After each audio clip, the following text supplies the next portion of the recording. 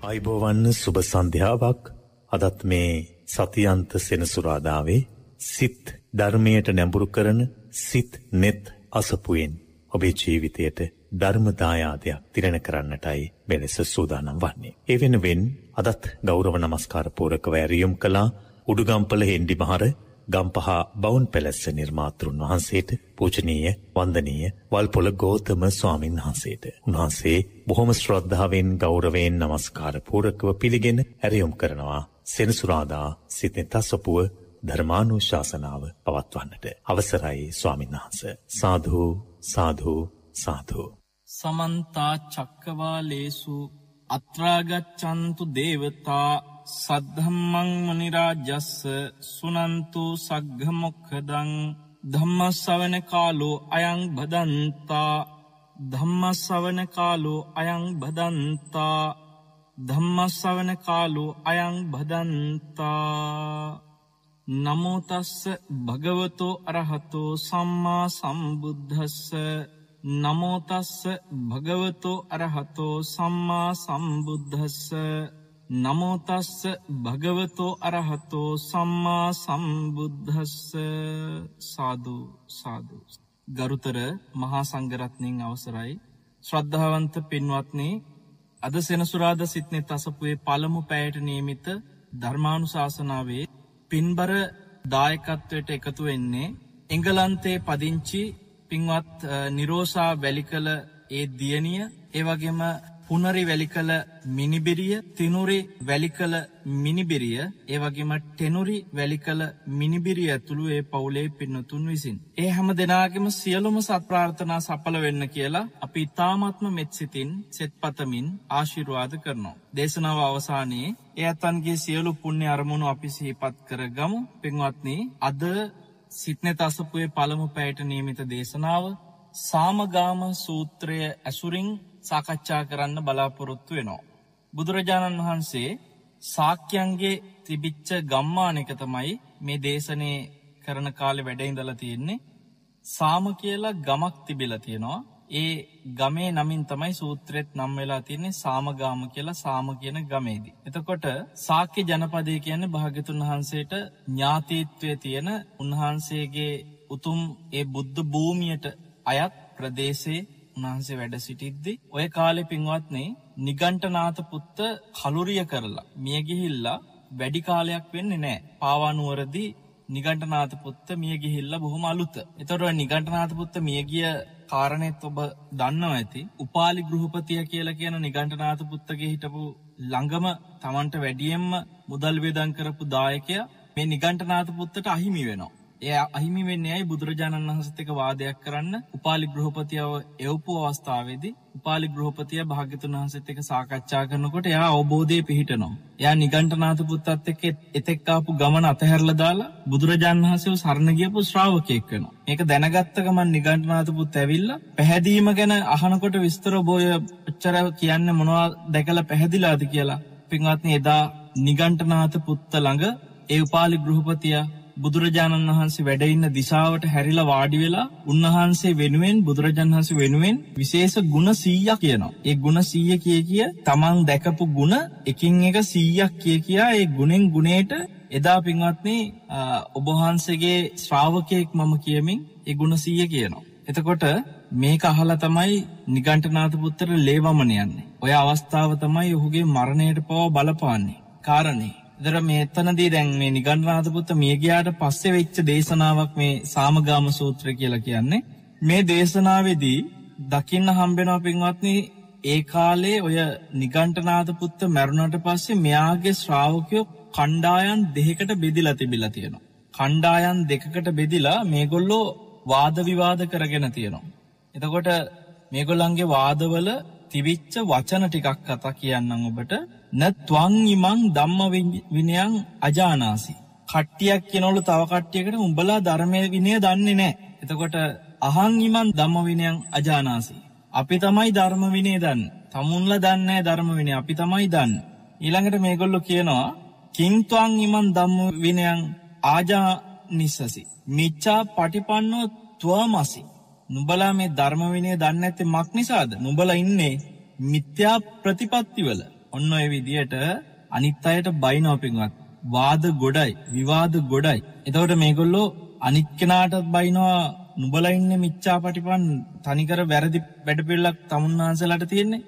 අහමස්මී සමාපටිපන්නෝ. අපි එහෙම නෙමෙයි. අපි හරි හරි ප්‍රතිපත්ති අපි ඉන්නේ. සහිතම් මේ අසහිතන්තේ අපි කියන වචන හොඳට අර්ථ සහිතයි. නුඹලගේ වචන එහෙම නෙමෙයි. නුඹලා වචන වල කිසිම අර්ථයක් නැහැ. ওই විදියට එක එක්කෙනාට කෑ ගහගෙන බැන ගන්නවා පින්වත්නි. නුඹලා කලින් කියන්න ඕනේව පස්සේ කියනවා අපි එහෙම නෙමෙයි අපි කලින් කියන්න ඕන එක තමයි අපි කලින් කියන්නේ. පස්සේ කියන්න ඕන එක නුඹලා මේ කලින් කියනවනාට අපි එහෙම නෙමෙයි. ඔය එක එක්කෙනාට ඔහොම කියලා මෙච්චර කාලයක් කරපු දේ තමුන්නාසලා කරන් ආපු අපි කන පිට හැරෙව්වා. ඒ වචන එහෙම්මම තියෙනවා. ආචින්නන්තේ විපරාවත් බල මේ කාලයක් තිස්සේ කරගෙන ආපුවා. කන පිට ගැහුවා. අපි අනිත් පැත්ත හැරෙව්වා. ආරෝපිතෝ තේවාදෝ. දැන් වාදයකට ලෑස්ති කරලා තියෙන්නේ. නිග්ගහිතෝසි. චර වාදප්ප මොක්කාය ඇවිල්ලා වාද කරන්න තියෙන කියලා කතා කරනවා. එතකොට නිග්‍රහ කරලා තියෙන්නේ මෙච්චරකල් කරපු ඔක්කොම කනපිට ගහලා තියෙන්නේ අනිත් පැත්ත හරවලා තියෙන්නේ. ඔය කරන් ආපුව කරන්න දෙන්නේ දැන් ඇවිල්ලා වාද කරපල්ලා. ඒ නිගණ්ඨනාත පුත්තගේ අභාවෙත් එක්ක මේගොල්ලෝ මේ ශ්‍රාවකයෝ මේ විදියට වාද කරනවා. දැන් මේ වාද මෙහෙම දුර යනකොට ඔතනදී මේ ශ්‍රාවකයන්ගේ තියෙන බෙදීමත් එක්ක ඒගොල්ලන්ගේ හිටපු ගිහියෝ මේගොල්ලොත් කලකිරිලා ඒගොල්ලන්ගේ තියෙන නිගන්ට ධර්මය ගැන වැරදි වැටහිම ඇති කරගෙන මේ ගොල්ලො දැන් කලකිරලා කල්පනා කර කර ඉන්න. මේක චුන්ද කියන ස්වාමීන් වහන්සේ එදා ආනන්ද හාමුදුරුවොත් එක්ක ගිහිල්ල කතා කරනවා පින්වත්න්නේ ආනන්ද හාමුදුරු හිටියේ මේ සාම කියන ගමේමයි උන්හන්සේව හම්බෙන් එනවා. උන්හන්සේ ඇවිල්ලා ආනන්ද හාමුදුරුවොත් එක්ක මේ මුළු සිද්ධියම කියනවා මේ විදියට ස්වාමීනි මේ පාවනුවර නිගණ්ඨනාත පුත්ත මැරුණාට පස්සේ මෙහෙම කට්ටිය දෙකට බෙදලා වාද කරගන්නවා. ඒ ගිහියොත් දැන් කලකිරලා ඉන්නේ මේ විදිහයි මේ විදිහයි තත්ත්ව කියලා චුන්ද ස්වාමීන් වහන්සේ ඇවිල්ලා විස්තරේ බුදුරජාණන් වහන්සේගේ ශාසනය සම්බන්ධව මෙහෙම දෙයක් වෙන්න ඇති වෙන්න ඕනේ කියන වොමනාව වෙනුවෙන් චුන්ද හාමුදුරුව කතා කරනවා. උතර ආනන්ද සන්නහන්සේ මොකද කරන්නේ කියනවා අපි බුදුරජාණන් වහන්සේට ගිහිල්ල මේ ගැන කියමු. උන්හන්සේත් එක්ක මේ ගැන කතා කරමු කියලා චුන්ද සන්නහන්සවත් එක්කගෙන යනවා බුදුරජාණන් වහන්සේමුණ ගෙහෙන්. ගිහිල්ලා මේ මුළු විස්තරේම කියනවා. කියලා කියනවා භාග්‍යතුන් වහන්සේගේ ඇවෑමෙන් පස්සේ සංඝයා අතර මේ වගේ විවාදයක් හටගන්න එපා.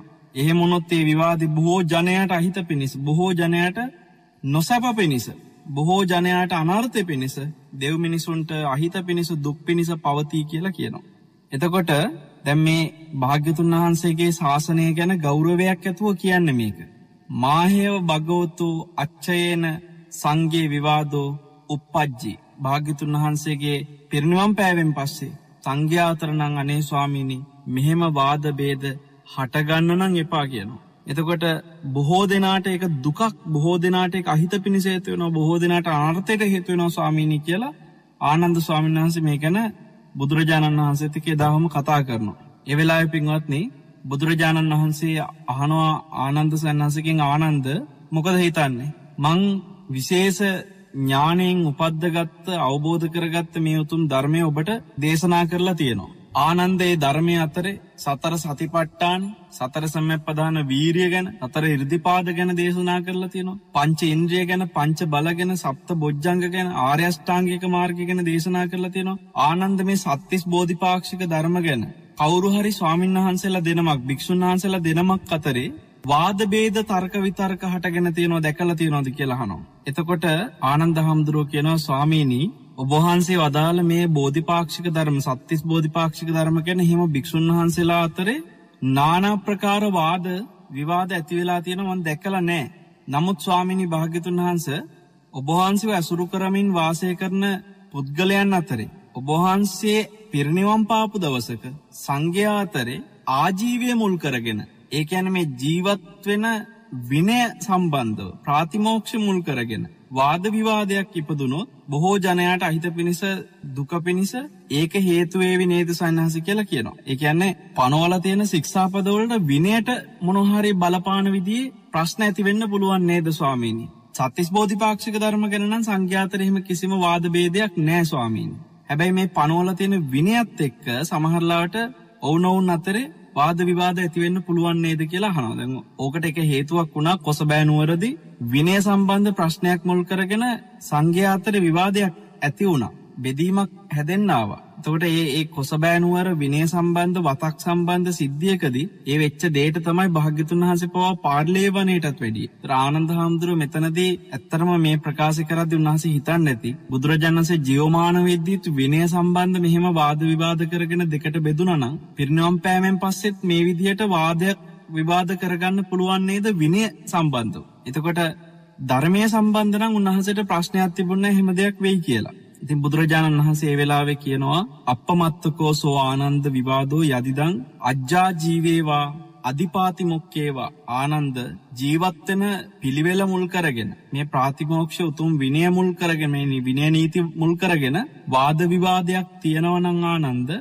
මග්ගේවාපි ආනන්ද පටිපදායවා සංගේ විවාදෝ උපපජ්ජමානෝ උපපජ්ජෙය සෝස විවාදෝ බහුජන හිතාය බහුජන සුකාය බහුනෝ ජනස්ස අනත්තාය අහිතාය දුක්කාය දේවමනුසානන්ති. මෙතැන්දි කියනවා අර විනය සම්බන්ධ ජීවත්වන පිළිවෙල සම්බන්ධ මනෝහරි වාදයක් විවාදයක් ඇතිවුණොත් අපමත්ව කෝසෝවානන්ද. ඒක පොඩි දෙයක් ආනන්ද. විනය සම්බන්ධ පනෝපු සික්ෂාපද සම්බන්ධ මනෝහරි වාදයක් විවාදයක් ඇතිවුණොත් එහෙම ඒක පොඩි දෙයක් ආනන්. අපමත්ව කෝසෝවාන. එක ලොකු ප්‍රශ්නයන් නෙමේ. එතකොට බුදුරජාණන්සේ වදාලේ මග්ගේවාපි ආනන්ද පටිපදායවා සංගේ විවාද උපද්ජමාන උපජ්ජේ. මේ නිවන් මග සම්බන්ධවානන්ද ප්‍රතිපදා උතුම් නිවනේ ප්‍රතිපදාව සම්බන්ධව වාද විවාද ඉපදුනොත් අන්න ඒ වාද විවාද. බහුජන හිතාය බහුජන සුකාය බහුණෝ ජනස්ස අනත්තාය අහිතාය දුක්කාය දේව මනුස්සානන්ති. බහු ජනාහිතාය බොහෝ දෙනාට හිතසෝ පිණිස හේතුවෙන් නැති බොහෝ දෙනාට සැපය පිණිස හේතුවෙන් නැති බොහෝ දෙනාට අර්ථය පිණිස හේතුවෙන් නැති අහිත දුක දෙවියන්ට පවා මිනිසුන් විතරක් නෙමේ දෙවියන්ට පවායක බොහෝ දුකක් වෙනවා කියන. නිවන් මග ගැන දෙකට බෙදාගෙන නිවන් මග ගැන ප්‍රශ්න හදාගත්තුත් එහෙම වාද විවාද හදාගත්තුත් එහෙම. එතර බුදුරජාන් වහන්සේ මේ කාරණය කියල පින්වත්න්නේ ඇත්තරම මේ වගේ වාද විවාද ධර්මය තුළ හදනවනං හදන්නේ මොනවගේ අයද කියලා. මොනවාගේ කාරණා මුල් කරගෙනද වාද විවාද හටගන්න කියලා හය දෙනෙක් ගැන විස්තර කරලා තියෙනවා. උන්හන්සේ පෙන්නවා හය දෙනෙක් ගැන. බලන්න උන්වහන්සේ මේෝ කල්ඇතුව පෙන්නල තියෙනවා. පින්වත්න ඒ වගේ අයි ශාසනයට එනවා. දැම් දැම් මේ වාද විවාද කරන හය දෙනාගෙන කියනකොට බුදුරජනස මෙතන පෙන්න්න පෙන්වද ඔක්කොම මේ භික්ෂූන් ගැන ගියෝ ගැන කියන්නේ. නිශාසනය ඇතුළි මහන වෙලා මේ ධර්මය බෙදලා විනය බෙදලා නිවන් මග තමන්ට ඕන විදියට වෙනස් කරලා හිතලු හදන චරිත බලන්න හයකින් එක්කෙනෙක් ගැන කියන බුදුරජාණන් වහන්සේ යම් භික්ෂුවක් ඉන්නව කෙන ක්‍රෝධයෙන් යුක්තයි. බද්ධ වෛර තියෙනවා. මෙයා ඉන්න ශාස්තෘන් වහන්සේ ගැන ගෞරවයකින් නෙමේ කියනවා. සත්තරි අගාරවෝ විහරත්. අපතිස්සෝ ආසුරුන්හන්සේ ගැන ගෞරවයක් නෑ අගෞරවයෙන් ඉන්න හිතුවක්කාරයි ධර්මය ගැන ගෞරවයක් නෑ අගෞරවයෙන් හිතුවක්කාර විදිට හැසිරෙන්. සංඝයා ගැන අගෞරවයකින් හිතුවක්කාර විදිට හැසිරෙන්නේ. ශික්ෂාව සම්පූර්ණ කෙනෙක් නෙමේ. එතර බුදුරජාණන්ස පෙනනවා මෙන්න මේ හැසිරීම තියෙන ක්‍රෝධයෙන් බද්ධවයිරෙන් ඉන්න අන්නර කියපු භික්‍ෂූන් වහන්සේ. මොකද කරන්නේ. සංඝ්‍යාතර මේ වගේ වාද විවාද උපද්ධන කෙනෙක් කියනවා. හිතුවක්කාරයි. එතකොට ඒ වගේ අය තමයි කියන බොහෝ දෙනාට දුක පිණිස හේතුවෙන විදිට දෙව් මිනිස්සුන්ට පවා අහිත පිණිස හේතුවෙන විදිට හැසිරෙන් බුදුරජාණන් වහන්සේ පෙන්න්න. එතකොට කියනවා ආනන්ද තමන්තුළ හෝ ඒවා තමාගින් බාහිරෝ ඒවා. මේ වගේ විවාද මූලයක් දකින්නට නොලැබුණු අනාගතයේ දිවත්. ඒ වගේ පවිට්ටු විවාද මූලයක් නූපදින්නට ඔබ කටයුතු කරන්න ඕනේ ආනන්ද.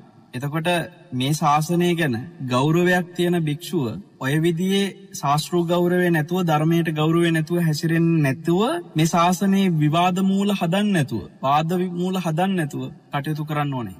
එකැනේ සරලෝකුවොත් ධර්මය හිතලු මතත් එක්ක නිවන් මග ක්‍රෝධ සහගතව බද්ධ වෛරතියාගෙන බෙදන වැඩ නොකර ඉන්න ඕනේ.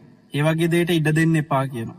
ඊට පස්ස පින්වත්න දෙවැනි තුන්ගෙන ඒවැ කියනවා පුනච පරං ආනන්ද බික්කු මක්කී හෝති පලාසි. යම් භික්ෂුවක් ඉන්නවයි කෙනවා අනුන්ගේ ගුණ නසන කෙනෙ එකට එක කරන කෙනෙ හැමයිලයෙන් බලන්න අනිත්තායගේ ගුණ නසල තමන්ව හුවා දක්ව ගන්න. එතකොට එයත් අර වගේම තම. ශාස්තෘ ගෞරවයක් නෑ. සෝ සත්තරිපි අගාරවූ විහරති අපපතිස්සු හිතුවක්කාරයි ශාස්තෘන් වහන්සේ කෙරෙහි ගෞරවයක් නෑ. දම්මේපි අගාර වූ විහරති අපපතිස්සු ධර්මය ගැන ගෞරවයක් නෑ මහ හිතුවක්කාරේ. සංගේපි අගාරෝ විහරති අපතිස්සෝ සංඝයා ගැන කිසි ගෞරවයක් නෑ හිතුවක්කාරේ. සික්කායපි න පරිපූරකාරි හෝති. ශික්ෂාව සම්පූර්ණත් නෑ සීලෙත් හරියට නෑ. එතකොට මෙන්න මේ වගේ අය සීලයත් නැතුව තෙරුවන් ගැන කිසි ගෞරවයකුත් නැතුව අනිත් අයගේ ගුණ මකන භික්‍ෂූන් මේ ශාසනය ඇතුළේ පහළ වෙලා තමයි කියනවා. මේ නිවන් මග බෙදල වාදවිවාද හදන්නේ. බෝධිපාක්ෂික ධර්ම විනාස කරලා තමන්ට ඕන ඕන විදිර නිවන් මග කියන්න ගන්න. තුන්ගනි කාරණය වනාස පෙන්වා ඉස්සු කිය හෝති මච්චරි. ඉරිසියාව මසුරුකම පිරිච්ච කෙනෙක්කින්නවා. තමන් සතු තියනදේ තව කෙනෙ පාවිච්චි කරනට කැමතින තකොට තව කෙනෙක් මනොහරිදය පාවිච්චි කරන එක දිහා බලංගින්ට බෑ. මසුරුයි. මෙන්න මේ වගේ ඉරිසියාවල් තියෙන භික්ෂුව මොකද කරන්නේ. ශාස්ෘ ගෞරවේ නෑ. ධර්මයට ගෞරුවයක් නෑ. සංඝයාට ගෞරුවයක් නෑ. සීලය පරිපූර්ණ නෑ හිතුවක්කාර මෙතුන්ගෙන කෙන. ඊට පස්සේ හතරවෙනි කෙනගෙන බුදුරජාණන්ස මේ දේශනාවති පෙන්න්නනවා සටෝහෝති මායාවි. කට්ට කයිරාටික සත්‍යය හංගගෙන බොරු මායාකාරි බව පෙන්න්න භික්ෂූනින් අයි කියන මේ ශාසනය. පහලවෙන්න පුළුවන් කියන. පට්ටකපටි කතාකරොත් කයිරාටික කතා තියෙන්නේ. ඇත්ත හංගගෙන බොරුව මායාකාර විදිට සමාජයට පෙන්න්නනවා. මෙන්න මේ වගේ මේ ශාසනය තුළේ මේ නිවන් මග විකෘති කරලා විනාස කරලා වාද විවාද හදලා ශාසනය විනාස කරන්න පුළුවන් අය තෙරුවන් ගැන ගෞරවයක් නැති හිතුවක්කාරයෝ. ඊළඟට බුදුරජාණන්ස පෙන්නවා පාපිච්ච හෝති මිච්චාදි පාපී මිත්‍යා දෘෂ්ටිවල වැහැගත්ත භික්ෂූන් ඉන්නවායි කියනවා. එනම හැම භික්ෂුවම හරි පුුණ්‍යවන්ත සම්මාධිට්්‍යක සිතුවිල්ලියලින් ඉන්න එන මේ පාපී මිත්‍යාදෘෂ්ටික මත දරාගත්ත ශාස්තෘන් වහස ගැන කිසි ගෞරවයක් නැති ධර්මය ගැන කිසි ගෞරවයක් නැති සංඝ්‍යාගෙන කිසි ගෞරවයක් නැතිය මේක පහළ වෙනවා කියන හිතුවක්කාර. ඒවගේ පාපී මිත්‍යාදෘෂ්ටි ආපු අය මේ ශාසනය තුළ වාද විවාද හදනොයි කියනවා. නිවන් මග බෙදනොයි කියන. දෙවියන්ට පව මිනිසුන්ට විතරන්නේ දෙවියන්ට පවා හිත පිණිස හේතුවෙන විදිට හැසිරෙනොයි කියනවා. එතොට පින්වත්න්නේ බුදුරජාණන්ස ඊළඟට කියනවා සන්දෙට්ටි පරාමාසි හෝති ආධානක්ගාහි දුප්පටි නිස්සක්ගී. ස්වකීය දෘෂ්ටිය තරේගත් තැඩි ලෙස මතවාදවලට බැඳිච්ච ඒවා අත්තරන්න දුෂ්කරවෙච්ච භික්ෂුන් මේ ශාසන ඉන්නවයි කියෙන්. තමන්ගේ ගත්ත මතේම තමයි හරි ඒකම විතරයි අයි වෙන එකක්වත් නෑ මං විතරයි දන්න එන කිසි කෙනෙත් දන්න මෙන්න මේ විදියට තමන්ගේ මතේම දැඩිව බැහැගත්ත ඒක ඇත්තද නැද්ද කියලවත් බුද්ධ වචනය ඔස්සේ විමසල බලන්න ඇති ඒවත් දැඩිව ග්‍රහණය කරගෙන දැඩි මතවාදවලට එල්බගෙන ඒවා අතහැරගන්න බැරි දැඩි හිතුවක්කාරය මේ ශාසනය මහනවෙනවයි කියනවා. ඒවගේ අය තමයි කියෙන වාද විවාදහදල නිවන් මග බෙදල ශාසනය විනාස කරන්න. එතර මේ හය දෙනා ගැනම් බුදුරජන්නසි පෙන්න්නනවා. පින්වත්න මේ දේශනය හරි අපූරු උන්වහන්සේ ඊට පස්සේ ආරවුල් ඇතිවෙන්න කාරණ හතරක් පෙන්න්නනවා. මේ ශාසනය තුළ. ඊට පස්සේ ආරවුල් ආරවුල්ල කියන්නේ අධිකරන කියන එක අධිකරන හතර මෙ විනය පිටක තියෙනවා. මේ දේශනාව තුන්හන්සේක පෙන්න්නනවා. ඊට පස්සේ අධිකරන සංසිදෝගන්න ක්‍රම හතක් පෙන්න්නනවා. අධිකරන සමත හතක් ආරවුලක් ඇතිවුණු ඒ ආරවුල කොහොමද සංසිදෝගන්න කියලා. එදර පින්වත්න්නේ මේ හතම ආරවුල් හතරත් ඒ ආරවුල් විසඳන සංසිදෝගන්න අධිකරන සමත හතකුත් උන්හන්සේතන ආනන්ද හාමුදුරන්ට විස්තර කරලා පෙන්න්නනවා. මෙ මෙච්චර පෙන්න්නන්නේ ඇයි මේ ශාසනයේ බොහෝ කාලයක් පවතින්න මේ වගේ හිතුවක්කාරයෙන්ගේ මේ ශාසනය බේරගන්න ඕන හිද. ආනන්ද හාමුදුරුවන්ට ඔය හය දෙනා ගැනම කියලා කියනවා. ඒ වගේ අයගෙන් මේ ශාසනයේ ආරක්ෂා කරගන්න මේ වගේ වාද විවාද ඇතිවෙන එක වලක්වල මේ වගේ ශාසනය තුළ ධර්මය විනය දෙකට කඩල මතවාද හදන එක නවත්තන්න ආනන්ද ඔගුල වගබලාගන්න ඕනේ අනාගතය පවා මෙහෙම දෙයක් නොවෙන්න වගබලාගන්න ඕන කියනු. දට සංඝ්‍යාතය තියෙනවා පින්වත්නේ වගකීම.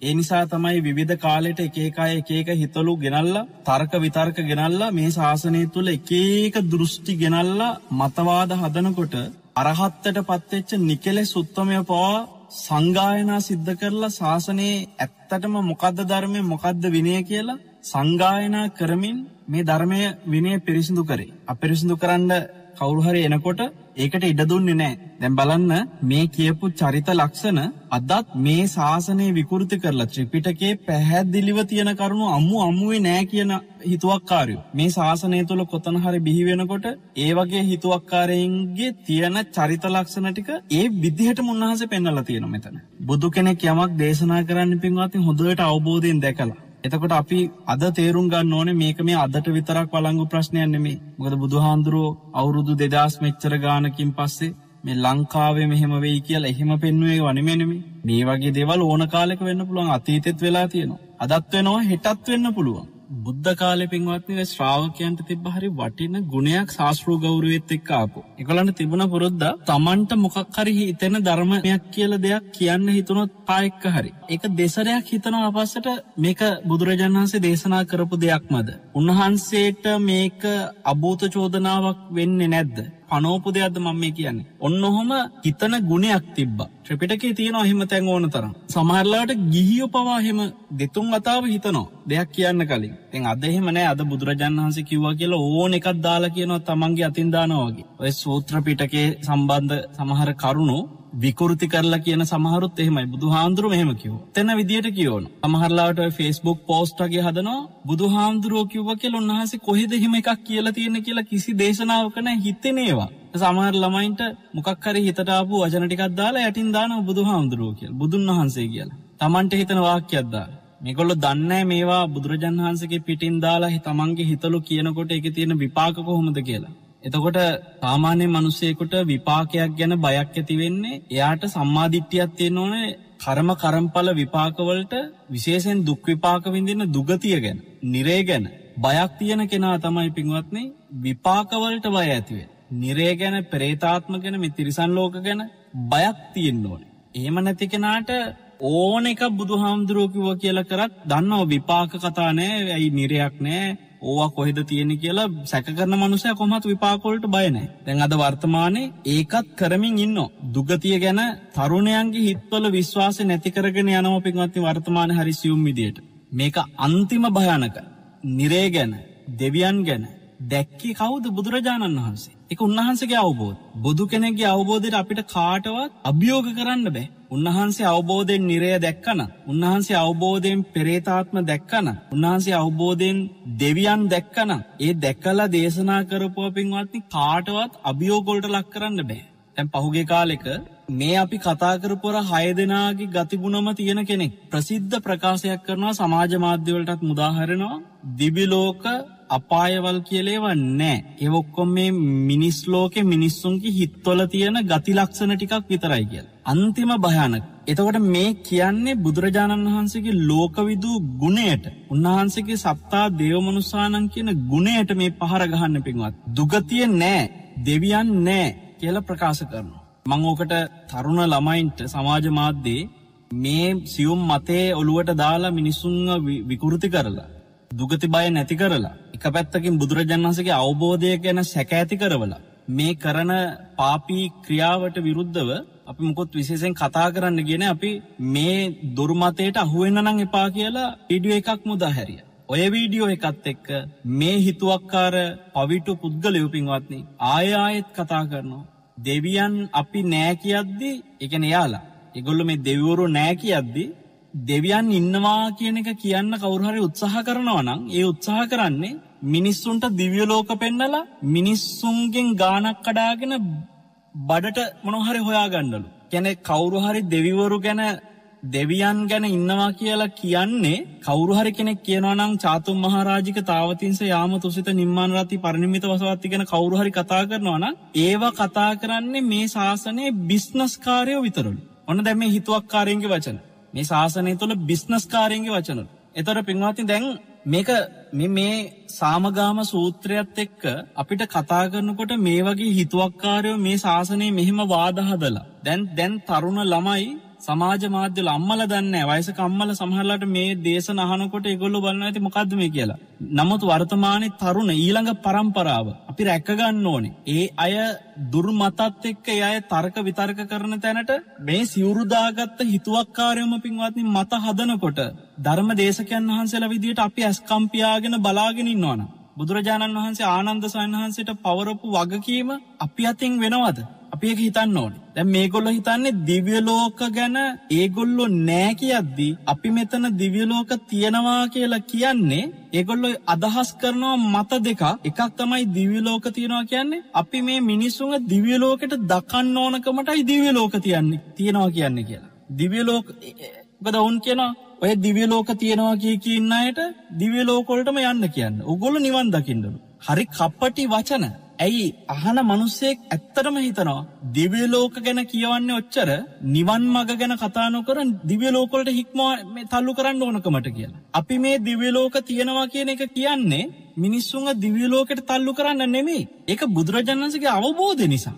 උන්වහන්සේ අවබෝධයෙන් දැක්ක දේ නිසා. චාතුම් මහරාජිකය ගැන තාවතින්සේ ගැන යාමෙ ගැන තුසිත ගැන නිර්මාණ රතිය ගැන පරනිම්මිත වසවත්ති මේවා දැක්කේ බුදුරජාණන් වහන්සේ. එතකොට ඒව ප්‍රතික්ෂේප කරනවා කියන්නේ ප්‍රතික්ෂේප කරන්නේ බුදුරජාණන් වහන්සේගේ අවබෝධය. මේ හිතුවක්කාරයෝ කියනවා පින්වත්නි ඔය සදෙව්ලෝකෙ ගැන හින්දු ආගමෙන් කොපි කරගෙනලු ජෛනයි බෞද්ධයෝයි අරගත්. ඒ කියන්නේ බුදුදහම හින්දු ආගමෙන් කොපි කරගෙනලු මේ දෙවිවරු ගැන දැනගත්. අරගත්. ඒ බුදුහාමුදුරුවන්ට කාගේවත් කොපි පේස්ට් ඕනේ උන්වහන්සේ කියන්නේ තුන් ලෝකෙම සීමාවක් නැතුව සියලු ලෝක මේ දිව්‍ය මනුස්ස බ්‍රහ්ම කියන තුන් ලෝකත් අනේක ප්‍රකාර සියලු ලෝක උන්වහන්සේ අවබෝධ කරලා තියෙන පරිපූර්ණව. උන්වහන්සේ ලෝකවිදු ඉස්සෙල්ලා ඒක තේරුම් ගන්න ඕනේ. හින්දුන්ගෙන් කොපි කරන්න මේ භාග්‍යතුන් වහන්සේට ඕනේ බෞද්ධයන්ට ඕනෙත් නෑ. මොකද හින්දුන්ගේ තියෙන සංකල්පවලට වඩා භාග්‍යතුන් වහන්සේ අවබෝධයෙන් දේශනා කරපු දේ ගැන බුදුරජාණන් වහන්සේගේ ධර්මය ගැන බෞද්ධයන්ට විශ්වාසි තියෙනවා.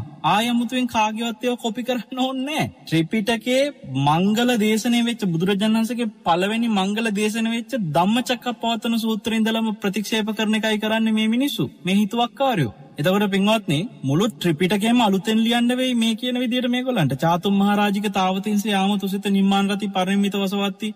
මේවා කොහෙද දන්නේ? හින්දු ඇත්තෝ දන්නේ. හින්දු දහමේ පින්වත්නි මේ වගේ දේවල් කතාවත් කරන්නේ හින්දුන්ටත් ඉන්නවා දෙවිවරු. ඒ සංකල්ප විදියට ඔවුන්ට තියෙන මොනවද? ත්‍රිමූර්ති කියලා. මොනවද ඒ අත්තන්ගේ ත්‍රිමූර්ති වල තියෙන්නේ? බ්‍රහ්ම විෂ්ණු ශිව මේ නිකා තුනක් ඒ අත්තන්ට තියෙනවා. ඒ තමයි ඒ අත්තන්ගේ දෙවිවරු. එතකොට පින්වත්නි සරස්වතී ලක්ෂ්මි පාර්වතී කියලා ඒගොල්ලන්ගේ ත්‍රි දේවි දේවිවරු ඉන්නවා. බ්‍රහ්මගේ දේවි, විෂ්ණුගේ දේවි, ශිවගේ දේවි විදියට සරස්වතී ලක්ෂ්මි පාර්වතී.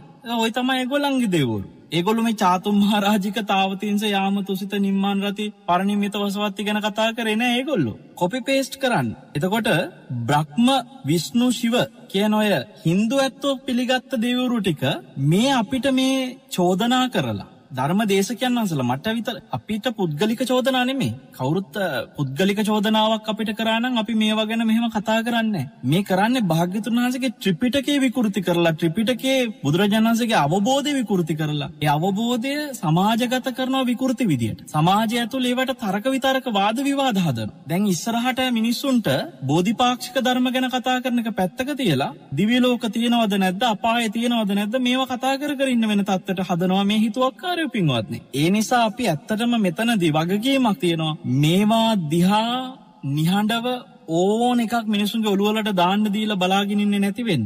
එතකොට අපි මෙතනදී අනිත් දැක්ක ලැජ්ජා සහගතම දේ තමයි බුදුරජාණන් වහන්සේ අවබෝධයෙන් දැකපු චාතුම් මහරජිකේ තාවතින්සේ යාමි තුසිත නිම්මාන රති පරිමිත වසවත්ති නැහැල්ලු. ඒවා බොරුලු. එහෙම එහෙම ලෝක නෑල්ලු. ඒවා මේ මනුස්ස ලෝකේ සැප විඳින වෙලාව විතරලු. මනුස්ස ලෝකේ සැප විඳින අවස්ථාව දිව්‍ය ලෝකෙලු. මේ මනුස්ස ලෝකේ දුකක් විඳින අවස්ථාවලු අපාය කියන්නේ. වෙන දෙයක් බුදුහාමුදුරුවෝ කියලා නෑල්ලු. දැන් මේගොල්ලෝ කියන විදියට දේශපාලඥයන් එක්ක නිතර නිතර ඇසුරු කරන මේගොල්ලෝ දේශපාලඥයන්ව නිතරම තමන්ගේ ආරාම වලට ගෙනල්ලා ඒ ආරාම ඇතුලේ බ්‍රහ්ම විෂ්ණු ශිව දේවාල හදලා ඒ බ්‍රහ්ම විෂ්ණු ශිව කියන මේ Hindu දෙවිවරුන් බුදුහාමුදුරුවන්ගේ අවබෝධ විශ්වාස නැති මේ හිතුවක්කාරයන්ට පින්වත්නි බ්‍රහ්ම විෂ්ණු ශිව විශ්වාසයි. ඒවෑ පූජාවල් කරනවා තේවාවල් කරනවා දේවාල හදාගෙන පන්සල් ඇතුළෙන්. ඒ ටික පිළිගන්න මිනිස්සුම බුදුහාමුදුරුව අවබෝධ කරපු දෙවුරු ටික ප්‍රතික්ෂේප කරනවා. එතකොට දේශපාලඥයෝ ගෙනල්ලා බ්‍රහ්ම විෂ්ණු ශිව දේවාල හදාගෙන ඒව ඇතුලේ වැඳුම් පිදුම් කරනවා. ඒ ගමන් කියනවා සැපටම ඉන්න මිනිස්සුලු සුගතිය මේ වෙලාවේ දිව්‍ය ලෝකෙ වෙන්නේ. දුක් විඳින මිනිස්සුලු දුගතිය වෙන්නේ. දැන් මේගොල්ලන්ගේ වචනෙට අනුව පින්වත්නි රට කාපු දේශපාලඥයෝ ටික ඉන්නවනේ. අන්න උන්නහැලානේ දැන් මේ වෙලාවේ රටේ සැපට ඉන්නේ. එතකොට මේගොල්ලන්ගේ වචනෙට අනුව මේ හිතුවක්කාරයෝ කියන විදිහත් එක්ක ගත්තට පස්සේ මේ ශාසනයේ වාද විවාද හදන මේ උන්නහැලා කියන විදිහට පින්වත්නි මට තේරෙන විදිහට මේ මෙයාලා මේ කියන්නේ මොකද්ද දන්නවද? මේගොල්ලෝ මේ නොකිය කියන්නේ මේ රටේ ඉන්න දේශපාලඥයෝ ටික තමයි මේ වෙලාවේ දිව්‍ය ලෝකේ මේ රටේ අන්ත දුගී දුප්පත් ජීවත් වෙන අහිංසක මිනිස්සු ටික තමයි මේ වෙලාවේ දුගතියි වෙන්නේ ඒකනේ. සැපට ඉන්න කවුද දුකටින් දුකෙන් දුකින් ඉන්න කවුද කියලා පේනවනේ. දුකට දාලා තියෙන්නේ කවුද? එතකොට අපිට මෙතන පැහැදිලිවම බ්‍රහ්ම විෂ්ණු ශිව පිළි අරගෙන ඒවට දේවාල හදලා ඒවට පූජා පවත්වගෙන මේ කතා කරන මිනිස්සු බුදුරජාණන් වහන්සේ අවබෝධ කරපු ධර්මය ප්‍රතික්ෂේප කරනවා. කර කර කියනවා අපි මේ විදිහට වචනයක් කතා කරලා නෑ එහෙම දෙවුල් දිව්‍යලෝක තියෙනවා කියලා කියද්දි අපිට කරන චෝදනාව තමයි මිනිස්සුන්ව නිවනට දක්වපල්ලා දිව්‍යලෝකෙට දක්වන්න එපා කියලා. මේ දෙවිවරු ඉන්නවා කියන්නේ කාවවත් දිව්‍යලෝකෙට දක්වන්න නෙමෙයි. බුදුහාමුදුරන්ගේ අවබෝධය ප්‍රතික්ෂේප කරන්න එපා කියන එකයි. මම ඔකට පොඩි උපමාවක් කියන්න. කවුරු හරි කෙනෙක් මේ රටේ ගාල්ල කියල දෙයක් නෑ අන්රාධපුර කියල දෙයක් නෑ මහනුවර කියල දෙයක් නෑ තියෙන්නේ කොළඹ විතරයි කියලා කිව්වොත් අපි එතැන්දි කියනවා නෑ ගාල්ල කියලා අන්රාධපුර කියලා මහනුවර කියලාත් ප්‍රදේශ තියෙනවා. එම දිස්ත්‍රික්ක තියෙනවා. කොළඹ දිස්ත්‍රික්ක විතරන් නෙමේ කියලා අපි කිව්වොත් එතකොට අපිට කෙනෙක් චෝදනා කරනවා ගාල්ලයන්න ඕනකමට උඹල මේ ගාල්ල තියෙනවා කියන කියලා. ගාල්ල තියෙනවා කියන එකයි ගාල්ල අන්ඩ ඕනකමත් තියෙනවා කියන එකයි දෙක ගාල්ල නෑ කියද්දි ගාල්ල තියෙනවා කියලා අපි කියනවා. ඒකෙන් කියන්නේ අපිට ගාල්ල අන්ඩ ඕන කිය නෑකිවහින්ද ගාල්ල තියෙනවා කියන්න. අනුරාධපුර නෑ කියනකොට අපි අන්රාධපුර තියෙනවා කියනවා. තියෙනවා කිවට අපි අන්රාධපුර යන්ඩුවනකි වෙනයින සබ්බදුක්ක නිසරණ නිබ්බාන සච්චි කරනත්තායක අපි මහනුවනේ නිවන් මග පිණිස මිසා දිවියලෝකයන්න නෙමේ. අපි ශ්‍රාවකයන්ට දහම කියා දෙන්නේ දිවියලෝකයන්න නෙමේ නිවනට. දැන් ඔය ඖෂධපූත් පාත්‍රා එකසිය දහටක් අපේ පූජා කරන්නේ. භාගතුන් වහන්සේගේ බුදුසිරුවට වැළඳිච්ච රෝගවලටම වෛද්‍ය වට්ටෝරුවලින් බොහොම ගෞරවෙන් සකස් කරලා. ඒ එකසිය දහටක් මේ අපි තනියෙන් කවුරුත් කරපය ගන්නෙමේ. ගම්මාන එකසිය දහටක හෙළ වෛද්‍යවරු ආයුරේද වෛද්‍යවරු එකසිය දහට දෙනෙ එකසි අට දෙනෙ ඒ එක එක ප්‍රදේශවල එක එක්කෙන එක පාත්තරය ගානය පූජ කරම මහලොක දෙවල් මේ පොඩිය මේ කසාය පාත්තරය. ලීටර් දෙක. එක්කනෙ පූජ කර ලීටර දෙක කසායක. ඒ ලීටර් දෙක කසාය පූජ කරා කියලා රට දුප්පත් වෙන්නේ. ඒගොල්ල තෙල් ටිකක් චූර්ණ ටිකක් හදලා පූජ කර මේ ලීටර් දෙකක්දාන පොටි මැටි පාත්තරයක. තර මේක හදලා දැන් අපි පූජා ඇතුරන ති මැටි පාත්තර ටික නිර්මාණය කරපු මිනිස්සු එහෙන් ඒ මිනිසුන්ට ආදායමක් ලැබුණ. හැබැයි අපි ඒ පූජාව කරලා අපි ලාබ හොයන්න අපි ආදායන් හෙව්වෙ නෑ. පැහැදිලිවම ඒ පූජාවල් කරපු එකසිය අට දෙනාම සාක්ෂි දරයි. හාමුදුරුවෝ ඒ පූජාව අපිවත් සහභාගි කරගෙන කලාට අපෙන් සල්ලිගත්තද නැද්ද කෙළේ ඇත්තු සාක්ෂි දරයි. කසාය හදපු එක කෙනෙක්ගෙන් අහන්න. ඒ කසාය පාත්තරය ගෙනවට අපි සල්ලිල්ලුවද කියලා? චූර්ණ ගේනවට අපි සල්ලිල්ලුවද කියලා? එනිසා මේ වෙලාවෙ වෙන්නේ මොකක්ද මේ ශාසනය ඇතුළේ ශ්‍රද්ධාවෙන් ශ්‍රාවකයෝ කුසලයක් කරද්දි පිනක් කරදදි මේක හැල්ලු කරනවා මේ මුන්ගේ බිස්නස් බිස්නස් කියලා. අවෂධ පූජාවක් කරහම බුදුරජාණන්සට ගෞරුවෙන් පුදුම රිදිල්ලත් තියෙන්නේ මේ හිතුවක්කාරයන්ට මේ බිස්නස් බිස්නස් කියලා. හැබැයි මේ බිස්නස් බිස්නස් කියන මේ ගොල්ලෝ ශිවදේවාල හදාගෙන විශ්ණු දේවාල හදාගෙන බ්‍රහ්මයන්ට දේවාල හදාගෙන සරස්වතිලට ඒගොල්ලන්ගේ තියෙන පාර්වතීලට ලක්ෂ්මිලට දේවල් හදාගෙන හින්දු දේවාල හදාගෙන මේ සිවුරු දාගත්තු මේ උන්න හෙලා කිසි ලැජ්ජාවක් බයක් නැතුව ඒවට පූජාවල් කර කර එතන කරන බිස්නස් කර කර ඊට අමතරව විවිධ වගාවල් කරලා ඒවට කඩසාපුදාගෙන විවිධ කෑමවර්ග හදාගෙන විකුණ විකුණ අමුුවමුවේ බිස්නස් කර කර බුදුරජාණන් වහන්ස වෙනුවෙන් ගෞරුවෙන් අවෂධ පාත්‍රයක් පූජ කරද්දි අපිට බයිනවා බිස්නස් බිස්නස් කියලා. ඒ අවෂධ පාත්‍ර පූජ කරන්න ඇතුව වටඉන්න මිනිස්සුන්ට ලෙඩ සනීප කරන්න ඒ බෙහෙට්ටික දෙන්න තිබ්බලු. මේ භාගිතුන් වහසට එක මනුසේ කදාගෙනාපු කසාය පාත්තර එකට කියන්න. ඒ කසාය පාත්තරේ ලීටර් දෙක කසායටික දීල මේ අන්රාධපුරම මිනිස්සුම සුවපත් කරන්න බෑ. හැබැයි උපන්දින පාටි තියාගෙන කෝටි ගණන් වියදං කරනකොට එතකොට මතක් වෙන්න අන්රාධපුරේ වටපිටාවන්න ලෙඩ්ඩු. භාගතුන් වහන්ස වෙනුවෙන් කසාය පාත්‍රය පූජ කරදිතමයි රිදෙන් මෙතන පෙන්වත්න මේ ඇත්තටම ඔබට හිතෙයි ගෝතම හාමුදුරුවන්ට තරහගිල්ල කියල. මට තරහයන්න මේ වෙලාවේ මට පුද්ගලිකව කරන හානියක් නෑ. භාග්‍යතුන් වහන්සේ වෙනුවෙන් ජීවමාන සංඥාවෙන් අපි කරපු පූජාවට කෙනෙහෙලිකං කරහම බැන්නම සමාජයට මතයක් යවනවා මේ කරන්න මේ බුදුහාමුදුරුවන්ට මොනොහරේ පූජ කරනයුම් ඔක්කෝම බිස්නස් කාරයෝ කියලා. කිය කියා හින්දු දේවාල හදාගෙන ගොල්ලු පූජාවල් කරනවා. එතර මේක තරුණ පරම්පරාව සියුම් විදිහට ග්‍රහණය කරගෙන තරුණයන්ගේ ඔළුවට මේ දාන මත කණ්ඩනය කරන්නේ වෙන කිසි කෙනෙක් වෙනුවෙන් මේ බුදුරජාණන් වහස වෙනුවේ. මට බුදුරජාණන් වහන්සේගේ අවබෝධය ලෝකවිදු අවබෝධය උන්වහන්සේගේ සත්තාදේව මනුසානන් කියන බුදුගුණේ අමු අමුවේ මෙහෙම හැල්ලු කරනකොට ඇත්තටම හැඟීමක් දැනීමක් තියෙන කෙනෙක් හැටියට මට බෑපින්වත් නියව බලංගන්න. මංගේ අධර්මය කණ්ඩනය කරනවා. ඇයි මං ඒක කණ්ඩනය කරන්නේ. බුදුරජාණන් වහන්සේගේ අවබෝධය විකෘති කරද්දි. උන්වහන්සගේ අවබෝධ ගැන ලෝකට දේශනා කරන අපි නිහඬව ඉන්නවාන. එක අපේ වගකීම නෙමේ යුතුකම නෙමේ. ඔබ හොඳට මතකතියාගන්න පින්වත්න මේ කියන කාරණය බුදුරජාණන් වහන්සේ ධර්මවාදී භික්ෂුවට කිව්වා ධර්මය ධර්මය හැටියට කියන්න අධර්මය අධර්මය හැටියට කියන්න විනය විනය හැටියට කියන්න අවිනය අවිනය හැටියට කියන්න.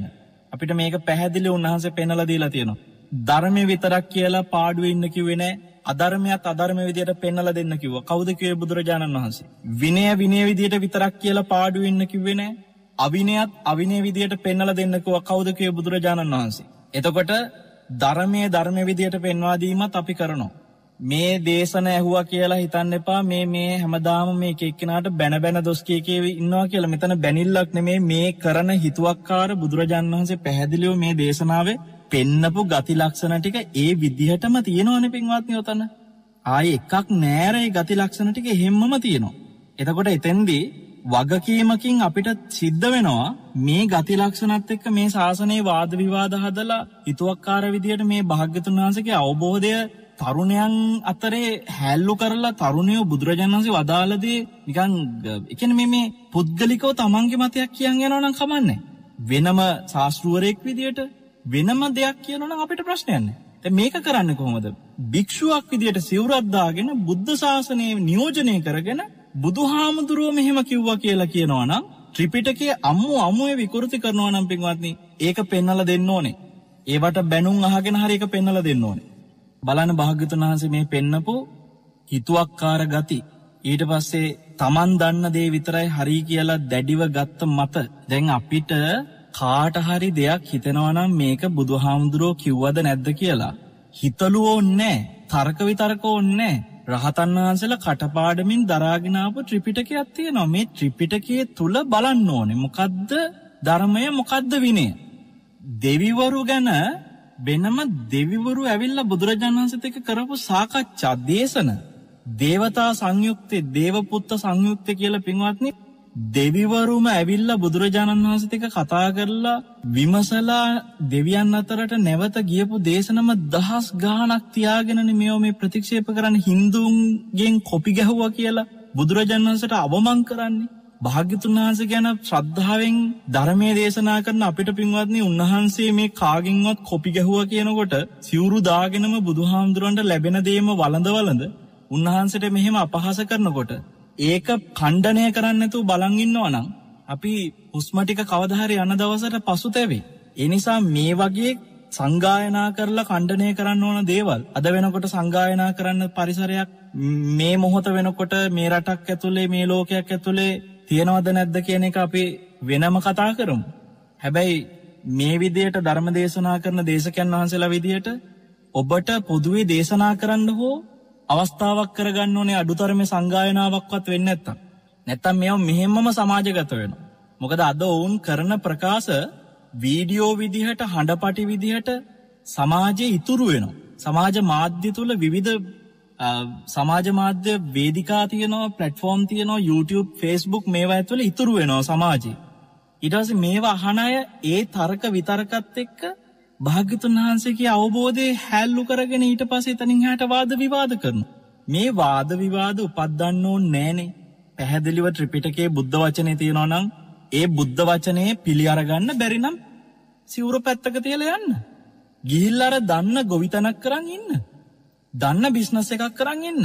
මේ ශාසනයේ ඇතුළේ ස්වාමින් වහන්සේ නමක් භාග්‍යතුන් වහන්සේගේ මහාසෑය ළඟට ගිහිල්ල යම් වන්දනාවක් කලා කියලා ඒ හාමුදුරුව බිස්නස්කාරයක් කියලා කියන්න එපා. ශිව දේවාල හදාගෙන බ්‍රහ්ම විශ්ණු දේවාල හදාගෙන පූජාවල් පවත්වගෙන භික්ෂුවක් විදියට සිවරදරාගෙන කරන බිස්නස් තියාගෙන අර තමන් නිරුවත්ව අනිත් අයගේ රෙදිගලවන්න හදනවාගේ වැඩක්මේ. තමන් ඉන්නෙම නිරුවත්ව. ඉතින් ඒ නිසා අධර්මවාදීන් විදිහට මේ රටේ මේ වෙලාව යම්කිසි ධර්මය විකෘති කරනවනං යම් බාධ විවාද හදනවනං ඒ දේවල් කණ්ඩනය කරන්න භාග්‍යතුන් වහන්සේ එදා අපිට පැහැදිලිවම අවසරේ දුන්නා. මේ සාමගාම සූත්‍ර කියන්නෙත් එහෙම සූත්‍රයක්. ආනන්ද සන්නසට පැහැදිලිවම කිව්වා. මේ වගේ මත මේ වගේ වාද විවාද සමාජය ඇතුළේ ගොඩ නැගෙන්න්න දෙන්නේ නැතුව ඉන්න ඕනේ. ගොඩ නගන්නේ කෞුද කියලත් පෙන්නවා. ඒ ගොඩ නගන අය ත්‍රිපිටකයෙන් පිට කතා කරනවනං මොකක්ද ත්‍රිපිටකේ තියෙන්නේ කියලා පෙන්න්න ඕන. අද සාමගාම සූත්‍ර කතා කරනවාගෙම මේ දේශනාවේ තියෙනවා සංඝ්‍යාතරය සමගිය හදාගතයුතු අපූරු කාරණ හයකු. මේ වගේ ප්‍රශ්න ඇතිවෙනකොට ඒ ප්‍රශ්න විසඳ ගන්න ඕන විදිිය ගැන හරි ලස්සන්ට කින්ති කියන සූත්‍රයත් විස්තර කරලා තින අපි කින්ති සූත්‍රය තිස්සරහට කතා කරනවා. මේ ත්‍රිපිටකේ විවෘත වෙන්න ඕන. විවෘත වෙන තරමට තමා බැබලෙන්. තැන් මේ වෙන්න හංගගෙන තමන්ගේ මත ඉදිරිපත් කරනවා. හින්දුවන්ගෙන් කොපි කරගත්ත කියනවා. බුදුරජාණන් වහන්සේගේ ඒ උතුම් සර්වක්්‍යතා ඥානය අමු අමුව මෙහෙම ප්‍රතික්ෂේප කර කර පින්වත්නී ව්‍යාපාරිකයෝ ව්‍යවසායකයෝ සිවුරුදාගෙන ඇවිල්ල මේ ශාසනය විනාස කරනකොට ධර්ම දේශකයන් වහන්සේලා විදියට අපිට ඔහේ පාඩුවේ පැත්තකට වෙලා බලාගෙන ඉන්නවා මං කියන්නේ ඒක නොවෙන්ඩ හොඳනෑ. ධර්මය ධර්ම විදියට අපි පෙන්නා දීලා තියෙනවා. බොජ්ජංග ධර්ම වඩන්න කොහොමද කියලා හැම මොහොතකම බොජ්ජංග ධර්ම වැඩෙන හිතක් හදාගන්න කොහොමද කියෙනෙ අපි දේශනා කරලා තියෙනවා. පටිසංපාදය කොහොමද අවබෝධ කරගන්නේ තන්නාව ප්‍රහාණය කරන වැඩපිළිවෙල පැහැදිලිව ආර්යමාර්ග වඩන විදිිය බෝධිපාක්ෂික ධර්ම වඩන විදිිය එව දේශනා කරලා තියෙනවා. පංචුපාදානස්කන්ද කොහොම අවබෝධ කරන්න ඕනේ මොකක්ද මේ උපාදානස්කන්ද කියන්න කියලා මේ අපි දේශනා කරලා තියෙන ධර්ම ධර්ම විදියට පෙන්නුවෝගේම අධර්මයත් අධර්ම විදියට පෙන්වාදීම විය යුතුමයි. ඇතැම් දවසක සිත්නි තසුපේද අපි ධර්මය ධර්ම විදියට පෙන්වා දෙනවා. එවගේම ඇතැම් දවස අපි අධර්මය අධර්ම විදියට පෙන්වා දෙනවා. මිනිස්සු නොදන්න මහා හානියක් මේ රට ඇතුළේ සිද්ධ වෙමින් යනව පින්වත්නි. සියුම් විදිහට විකෘති කරගෙන කරගෙන යනවා හිත්තු මනාපෙට ඔවුන් බුදු වනා කියලා. ඔවුන් බුදු උනා කියලා කියන වචන ඇතුළෙම ශාස්තෘ ගෞරවයක් නෑ පින්වත්න. ශාස්තෘ ගෞරවයක් නෑ ධර්ම ගෞරවයක් නෑ සංඝයාට ගෞරවයක් නෑ භාග්‍යතුන් වහසේ පෙන්න්නපු හිතුවක්කාරයෝ දැන් ශාසනය ඇතුළ ඉන්නවා. ඒ විනාසි සිද්ධ කරගෙන යනවා. ඔබට ලොකු වගකීමත් තියෙනවා. පින්වත්න මේ ධර්මය අද ඔබ ආරක්ෂා කරලා හෙට පරම්පරාවට මේ ධර්ම ඉතුරු කරලා දෙන්න ඕන්. හෙට ලෝකයාට අපිට ලැබිච්ච විදිහටම නිරුපද්‍රිතව ධර්මය අහන්න පරිසරය තියන්න ඕන. අද කරන විකෘතිය අදම නැති කරන්න ඕන. ඒ විකෘතිය හෙට ඉතුරු කොරොත් එහෙම පින්වත්න අපිට ලැබිච්ච ප්‍රකෘති ධර්මය නෙමේ හිට අහිංසකයන්ට ලැබෙන්නේ. ඒක නිසාපි ඒ වගකීම දැන් ඔබට හිතෙයි අපිට මේවා කතා කරන්නේ ඇයි කියලා කෙනෙකුට හිතන්න පුළුවන්. ඒක වගකීම ඔබට නැති වගකීමක් අපිට තියෙනවා. රටේ පිළිගත්ත දේශකයන් වහන්සල විදියට මේ සීමිත ස්වාමීන් වහන්සල පිරිසකට ඒ වගකීම දැඩිව තියෙනවා. තින් එක නිසා හදවතින්ම මේ කියන්නේ. ජීවිතේ භාග්‍යතුන් වහන්සේව ඉක්මවා වචනයක් හිතනවන බයවෙන්න. උන්වහන්සේගේ ධර්මයට පටහැනි නොවාදාල දෙයක් වදාල කියලා හරි වදාල දෙයක් නොවාදාල කියලා හරි හිතනවනම් බයවෙන්න ඕන. ශ්‍රාවකයන් තුළ තියෙන ඒ බය නැති කරන අය අපි කණ්ඩනය කරන්න ඕනේ. එ මත බිඳින්න ඕනේ. ඒවගේ මතවාද විවාද හදන්නේ අර කිව්ව ජාති හිතුවක්කාරය. පෙන්වත්න මේ සාමගාම දේශනාව අවසානය බුදුරජාණන් වහන්සේ.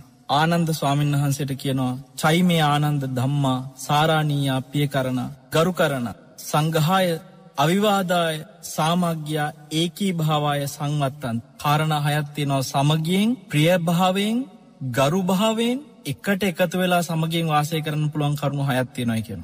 ඒ තමයි මෙත්තං කායකම්මං පච්චු පට්ටිතං හෝති.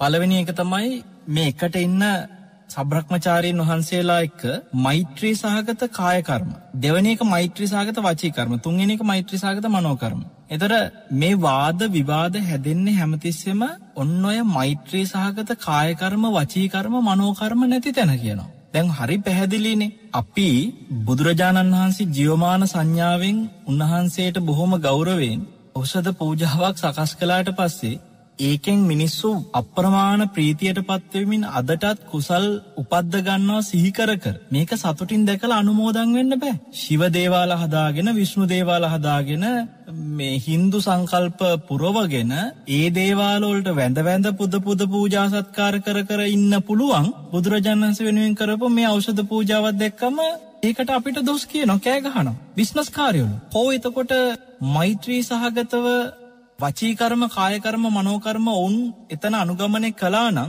පින්වත්න මේ වගේ වාද විවාදවලට හේතු හැදෙන්න. ඒක අනුමෝදං වෙන්න පිනක් නෑ ඒක බිස්නස්කාරය බිස්නස්කාරය කියලා බයිනවා හැබැයි තමන් එලෝලු වගා කර කර විවිධ නිල් කටරොඩු හරි මොනහරි මල්වර්ග අරගෙන ඒවෑන් එක එක කෑම බීම අයිස්ක්‍රීම් හදහද ඒවා කොළඹ කඩසාප්පුවරලේවෑ විකුණ විකුණ පැහැදිලිවම සිවරද්දාගෙන බිස්නස් කර කර මේ භාගිතුන් වහන්සේනුවෙන් කරන පූජාවකට බිස්නස් කාරය බිස්නස් කාරය කියලා කිය බයින මෙ දෙබ බලන්න මේ මෛත්‍රසාගත වචන මෛත්‍රසාගත කායකර්ම මෛත්‍රසාගත මනෝකර්ම නැතිවුණ ගමන් මේ වගේ වාද විවාද හැදෙන්නේ සමගිය නැතිවෙන්න කියනවා. ඉතිං මේ වගේ හිතුවක්කාරයෝන් එක්ක කොහෙද පින්වත්න්නේ සමගියක් තියෙන්නේ මේ මේ හැම්මත් තිස්සෙම මේ වගේ ක්‍රෝධයින් වෛරයෙන් ඉරිසියාවෙන් දැඩිභාවෙන් මකුභාවෙන් ජීවත්වෙන චරිත මේ ශාසනය සිවුරු දාගත්තට පස්සේ තමයි මේ වගේ ප්‍රශ්න හැමදාම ඇතිවෙන්. තැන් කල්්‍යයාන මිත්‍ර ධර්මදේශකයන් වහන්සේලා කී නම අපි මේ වගේ උතුම් පින්කමක් කරහම එක අනුමෝදන් වුණ ඇත්තරම මෙතන ඖෂධ පෝජාවක් කරන්න නෙමේනි අපි බුද්ධශ්වේත රාච්චය කර ඔබ දන්නවා පැහැදිලිවම තුන්යමක් පුරාම භාග්‍යතුන් වහන්සේගේ අවබෝධය ගැන ගැඹුරු ධර්ම දේශනාවක් අපි සිදු කළ රැයක් කෙලිවෙනකම්. ශ්‍රද්ධාවෙන් ශ්‍රාවකයන්ට ධර්මය හන්ඩ අවස්ථාව හැදුව ඒව දැකලා ප්‍රියසීලී සංඝයායව අනුමෝදං වුණ. උන්වහන්සේලා උන්වහන්සේලාගේ අදහස් ප්‍රකාශ කලා එක වටිනාකම ගැන. අන්නේ මෛත්‍රී සහගත කායකර්ම වචීකර්ම මනෝකර්ම තියෙන සිල්වත් ස්වාමීන් වහන්සේලා හැමදාම සමගියෙන් පින්වත්. මේ ශාසනය විනාස කරන මේ පවිටු දුස්සීලියෝ තමයි මේ විදියට විවාද හදලා දවේශ සහගත විදිේ වාද විවාද හදන්න. තොට මේක පෙන්නල අපි මෙතන මේකයි ධර්මය මේකයි විනය කියල පෙන්වාදීමක් කළ යුතුමයි. මොකද මිනිස්සුත් සමහරලාවට දැන් තරුණයෝ සමහරලාවට මේවා සමාජමාධ්‍ය තුළ පිළියරගන්න මේ වැහිච්ච ගමන්. ඒක පාක් පාර්ශවීව ඔවුන් කියන මතේ විතරයි. අවසානය ඒක සත්‍ය වෙනවා. නිහඬ වන ගමන් මුනිවරු. නිහඬ වන ගමන් සිල්වත් සංඝයා. නිහඬ වන ගමන් සංගායනා කරපු මහ උත්තමයෝ එදා නිහඬ වුණේ නෑ ගමින් ගමට ගිහිල්ල සංඝයා එකතු කර. ඔබහන්සලා මේ වෙලාවේ නිහඬව ඉන්න එපා. එකතු වෙන්න ඕන මේ වෙලාවේ කියලා. ලෙන්වල හිටපු රහතන් වහන්සේලා පවා ගිහිල්ලා කතා කරගෙන ඇවිල්ලා පින්වත්නි සංගායනා කළේ. නිහඬව හිටියේ නෑ ඉතින් ඒක හින්දා මේ වගේ කායකර්ම වචීකර්ම මනෝකර්ම මෛත්‍රී සහගතව සංඝයාතරේ තියෙනවනම් තවසයින්හස නමක් කරපු දෙයක් ඒ සන්නහන්සට අනිත්සන්නසට අගේ කරලා කතා කරලා එක අනුමෝදංගන්න පුළුවන්න. උන්වහන්සේලා අතරේ ධර්මය දේශනා කරද ඔබ දකින්න ඇති අපි හැමතිස්සෙම විවිධ සන්නහසලගේ දේශන අහන්න කියලා මේ සිත්නය තසපුයම මතක් කරනු. ධර්මවාදී භික්ෂුන් වහන්සේලගේ දේශන අහන්ඩ කියලා නම් කියලා කියන. කවදක්වත්නේ අපේ දේශන විතරක් අහන්න අපේ පින්කං වලට විතරක් එන්න කියලා කවදාකවත් කියන පටු අරමුණු ඇතුළෙ නෑනේ. මෛත්‍රී සහගතව ඒ වචීකර්ම මනෝකර්ම සංඝයා ඉන්න තැන නැති තැන මේක බෙදාගන්නු තෝට තම මේ ශාසනය සමගියත් තියෙන්නේ. මේ හිතුවක්කාරයෝ මේවා කරන්න බැරිනම් මේ සිවරේ ඉන්න නැතුව යන්ඩෝනේ ගිහිල්ල දන්න බිස්නස් කරන්න ඉන්ඩෝනේ. එතකොට පින්වත්න්නේ අනිත් එක තමයි පාත්තරයට ලැබෙන ගෞරවෙන් පූජා කරන තමන්ට ලැබෙන සිව්පසේ සංඝ්‍යයක බෙදාගන්නවන. සමසීල සමදිට්ටි දිට්ටි සාමාන්‍යගත සීල සාමාන්‍යගත කියන සීලෙන් සමාන බව.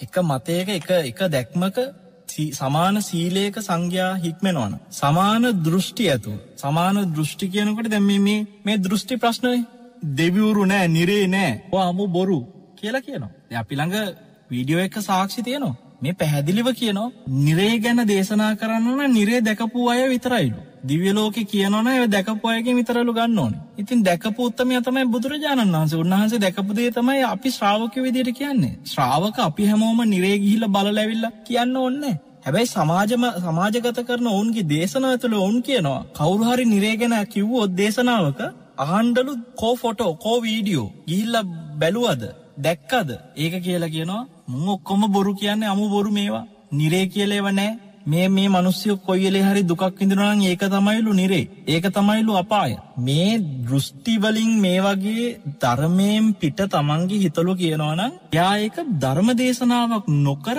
තමන්ගේ දේශනාවක් විදිට ඒක කරන්න ඕන සිවර පැත්තකින් අයින් කරලා බුද්ධ ශාසනයම බැහැරල. එතර ඒක වෙන මාගමක්නේ ඒක වෙනම එකක්. ඒතට ඒක අපිට ප්‍රශ්නයන්නේ අපි පින්වත්න මෙතන කවදාකත් නිගටනාත පුත්ත කිව එකයි මක්කලි ගෝසාල කිව එකයි එකක් කෙන සංජය බෙල්ලට පුත්තල කියපුවා ගැන කතා කර කර ප්‍රශ්නයක් කරගන්න ඒක වෙනම එකක්නේ. හින්දු ඇත්තන්ගේ දහම අපි මෙතන ඕ බොරු ඕ බොරු කියන්නේන ඒක වෙනම එකක්නේ. කතෝලික ක්‍රිස්සියන ඇත්තන්ගේ ඉස්ලාම් ඇත්තන්ගේව අපි බොරු බොරු කිය කියන්න ඒව කිය කියන්න අපිට කාලෙ කන්න ඕන්න අපි ඒ වෙලාවේ ධර්මය කතා කරනවා. මොකද ඒවා වෙනම ඒවා. මේ ගොල්ලන්ටත් තියෙන්නේ නිරේ කියලා එකක් නැහැ, දිව්‍ය ලෝක කියලා එකක් නැහැ කියලා ත්‍රිපිටකයේ ඇතුලේ නැහැ කියලා විකෘති කරන්නේ නැතුව තමන්ගේ මතේ නැත්තම් නැහැ කියලා වෙනම දහමක් විදියට හොඳම දේ තමයි ඔය කහපාට සිවුර නැතුව ඔකට නිල් පාටම එකක් ඇඳගත්තා නම් කටරොඩු මලේ පාටින් ඇඳගෙන කරා නම් කිසි ප්‍රශ්නයක් නැහැ වෙනම නිල් පාට සිවුරක් ඇඳලා වෙනම නිකායක් හදාගෙන ශාසනය බුද්ධ ශාසනය නෙමෙයි. මොකද භාග්‍යතුන් වහන්සේගේ අවබෝධය පිළිගන්නේ නැත්නම් එතනම ශාසනයෙන් බැහැරයි. ඒකට තමන්ගේ දහමක් තමන්ගේ ආගමක් අලුතෙන් නිර්මාණය කරලා තමන්ගේ ඕන විදිහට ඕන දහමක ඕන ශ්‍රාවක ටිකක් හදාගෙන කිසි ප්‍රශ්නයක් නැහැ.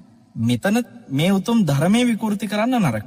දිට්ටි සාමාන්‍යගත වෙන්න ඕනේ. දෘෂ්ටි සියල්ල තියෙන්න ඕනේ භාග්‍යතුන් වහන්සේගේ සම්මා දිට්ඨියට අනුගතව. සම්මා දිට්ඨිය කියනකොට දිව්‍ය ලෝක අපායවල් පිළිගන්න එක සම්මා දිට්ඨිය නෙමෙයි කියලා. සම්මා දිට්ඨිය ගැන අපි දන්නේ නැහැ කියලා ඔවුන්ගේ දේශනවල ප්‍රකාශ කරන. සම්මාදිට්ඨිය ලෝකෝත්තර සම්මාදිට්ඨිය ලෞකික සම්මාදිට්ඨිය කියලා සම්මාදිට්ඨිය කැටගරි දෙකකට තියෙනවා. පියවර දෙකකට තියෙනවා. කර්ම කර්මඵල පිළිගන්න මේ නිරේ පිළිගන්න දිව්‍ය දෙවියන් ඉන්නවා කියන එක පිළිගන්න භාග්‍යතුන් වහන්සේගේ අවබෝධය තුල මරණින් පස්සේ ආය උපදිනවා කියනව පිළි අරගන්න එකක් සම්මාදිට්ඨියක් තමයි. ඒකට කියන්නේ ලෞකික සම්මාදිට්ඨිය කියලා. අඩුතරමේ එහෙම සම්මාදිට්ඨියක් තියෙනවා කියනකවත් දන්නේ නැහැනේ මේ උන්නහෙලා. මේගොල්ලෝ හිතන් ඉන්නේ නිවනට තියෙන දැක්ම විතරයි සම්මා සම්මාදිට්ඨිය කියලා. සම්මාදිට්ඨිය කියනකොට කල්යාණ මිත්‍රයා කවුද පාප මිත්‍රයා කවුද ඇසුරු කරන්න ඕනේ කවුද ඇසුරු නොකරන්න ඕනේ කවුද මේව ඔක්කොම සම්මාදිට්ඨියට අයිති වෙනවා. ඒවත් ප්‍රඥාව තමයි. සම්මාදිට්ඨිය කියන්නේ ගැඹුරු ආර්ය සත්‍ය දකින්න දැක්ම විතරක්ම නෙමෙයි. ඒක ලෝකෝත්තර සම්මාදිට්ඨිය. ඒතර සම්මාදිට්ඨිය අවස්ථා දෙකක් මේ. මේවා ත්‍රිපිටකය ඇතුලේ තියෙන ওই ත්‍රිපිටකය හරියට කියවුවනම් ඕවා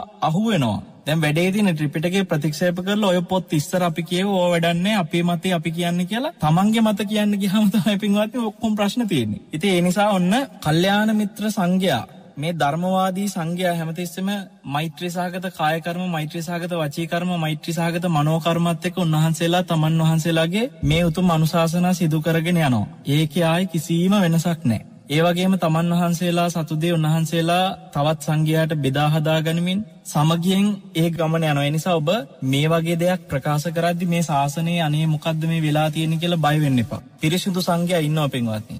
මේ පිරිසිදු කිරිකාලයේ අස්සට ගොම වැටෙන්න එනකොට තමයි අපි මේ ගොම වැටෙන්න නොදී බේරන්න ඕනකමට ගොම ටික පැත්තකට දාන්නේ. ඒ ගොම පැත්තකට දැම්මා කියලා මේක ඇතුලේ පිරිසිදු කිරිකාලයේ කිරි තියෙනවා. ඒ ගැන බය වෙන්න දෙයක් නැහැ. ඒකින්ද අපි ඇත්තටම මේ වෙලාවේ මේ බුද්ධ ශාසනය තුළ එක දෘෂ්ටියක් ඇතුළ එක මතයක් ඇතුළ. මේ වගේ අධර්මවාදීන් මිනිස්සු අතරට අනවශ්‍ය විදිහට වාද විවාද හදන එක ඛණ්ඩනය කරන්න සියලු ස්වාමීන් වහන්සේලා තමන් වහන්සේලාගේ ධර්මයේ ධර්මයේ විදිහට කියන ගමන් අධර්මයට අධර්ම විදිහට පෙන්වා දීම විය යුතුම දෙයක් කියලා අපි අපි හැමදාම සිත්නත අසුකුවේ එදා ඉඳන් අපි මේ අධර්ම කරුණු ඇතුලේ මත ඛණ්ඩනය කරලා තියෙනවා. ධර්ම ධර්ම විදිහට කියලා තියෙනවා. මේක පාට හුදකලාව. අද මේ පටන් ගත්ත දෙයක් නෙමෙයි ඒක හැමදාම අපි කළා. විනය විනය විදිහට අපි හැමදාම පෙන්වලා දුන්නා. අවිනය අවිනය විදිහට අපි හැමදාම පෙන්වලා දුන්නා. ඒක තමයි ධර්මවාදී භික්ෂුවකගේ යුතුයකම වගකීම කියන එක පින්වත්නි. ඔයත් හැමදෙනාම තේරුම් ගන්න අද අපි කතා කළේ මේ ශාසනයේ චිරස්තතියට උපකාරී වෙන සාමගාම සූත්‍රය.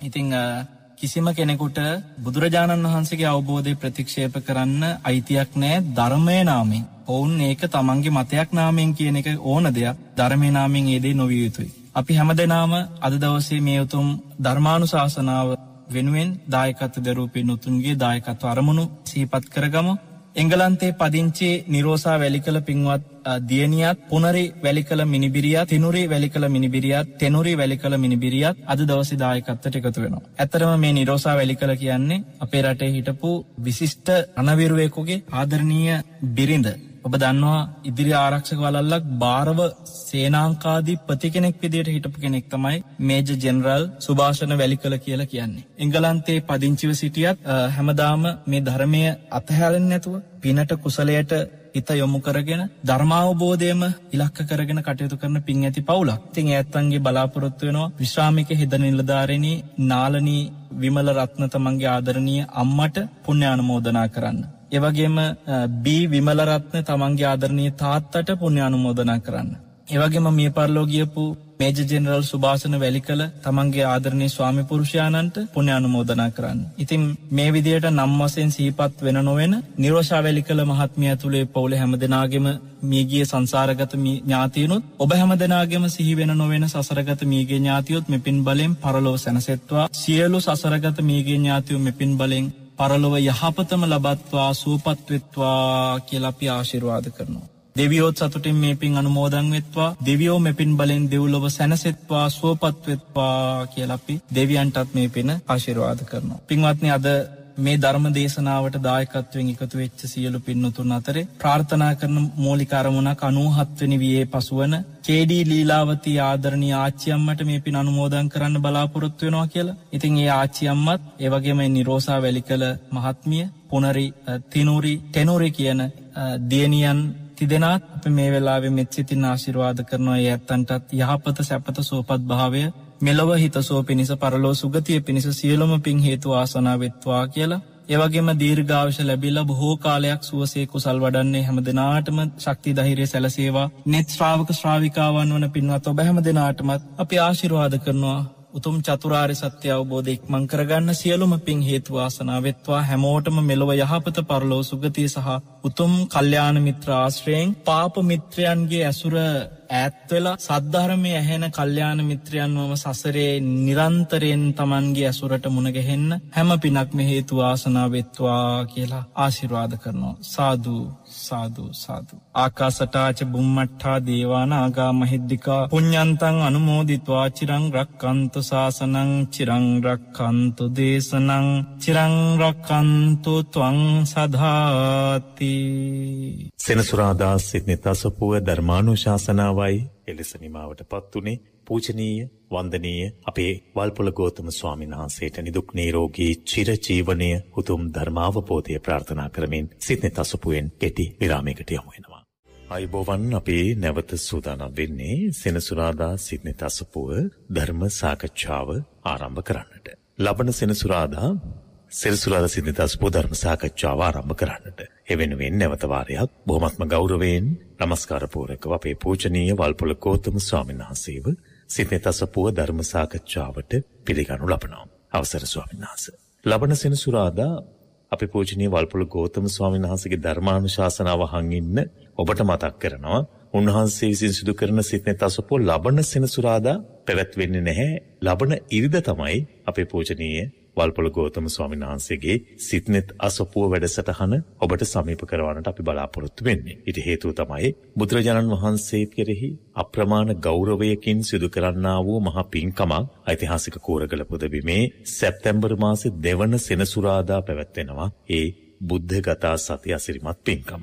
ඉතින් ඒ නිසා එම රාත්‍රිය මුළුල්ලේම පැවැත්වෙන පින්කමට ඔබට සහ සම්බන්ධ වෙන්න ආරාධනා කරනවා පූජනීය ගලිකමුවේ ඥානදීප ස්වාමීන් වහන්සේ බලංගොඩ රාද ස්වාමීන් වහන්සේ මේ පින්කම වෙනුවෙන් ගණේකන්දි චන්දරතන ස්වාමීන් වහන්සේ වැඩම කරන්නට යෙදෙනවා. නෙල්ලිගල හාමුදුරන් වහන්සේගේ අනුශාසනා පරිදි පින්කම සිදුවේ. ඒ නිසා ඒ අසිරිමත් පින්කම සමගින් ධර්මය අහන්නට ප්‍රිය ගෞරවනීය ඔබට ගෞරව සිතින් නෙත් අපි ආරාධනා කරනවා බුද්ධගතා සතිය සිරිමත් පින්කම වෙනුවෙන් ඓතිහාසික කූරගල පුදබිමට සැප්තැම්බර් දෙවැනිදා හවස 4 වන විට ඒක රාශී වන්නට කියලා. ඒ වගේම අපේ පූජනීය වල්පොල ගෞතම ස්වාමීන් වහන්සේ පවත්වන ධර්මානුශාසනාව ලබන සතියට පමණ ඉරිදා දවසේ ශ්‍රවණය කරන්නටත් සූදානම් වෙන්න කියන ආරාධනාව ඔබට සිදු කරමින් අපි ධර්ම සාකච්ඡාව ආරම්භ කරන්නටයි සූදානම් වෙන්නේ. අපේ සවනස් අපේ ධර්ම සාකච්ඡාව ආරම්භ කරමු මේ කාලය තුල අපි බෞද්ධයෝ විදිහට බොහොම ගෞරවයකින් බුදුදහමට ලං වෙනවා වගේම සමහරු බුදුදහම පිළිබඳ හඳුනාගෙන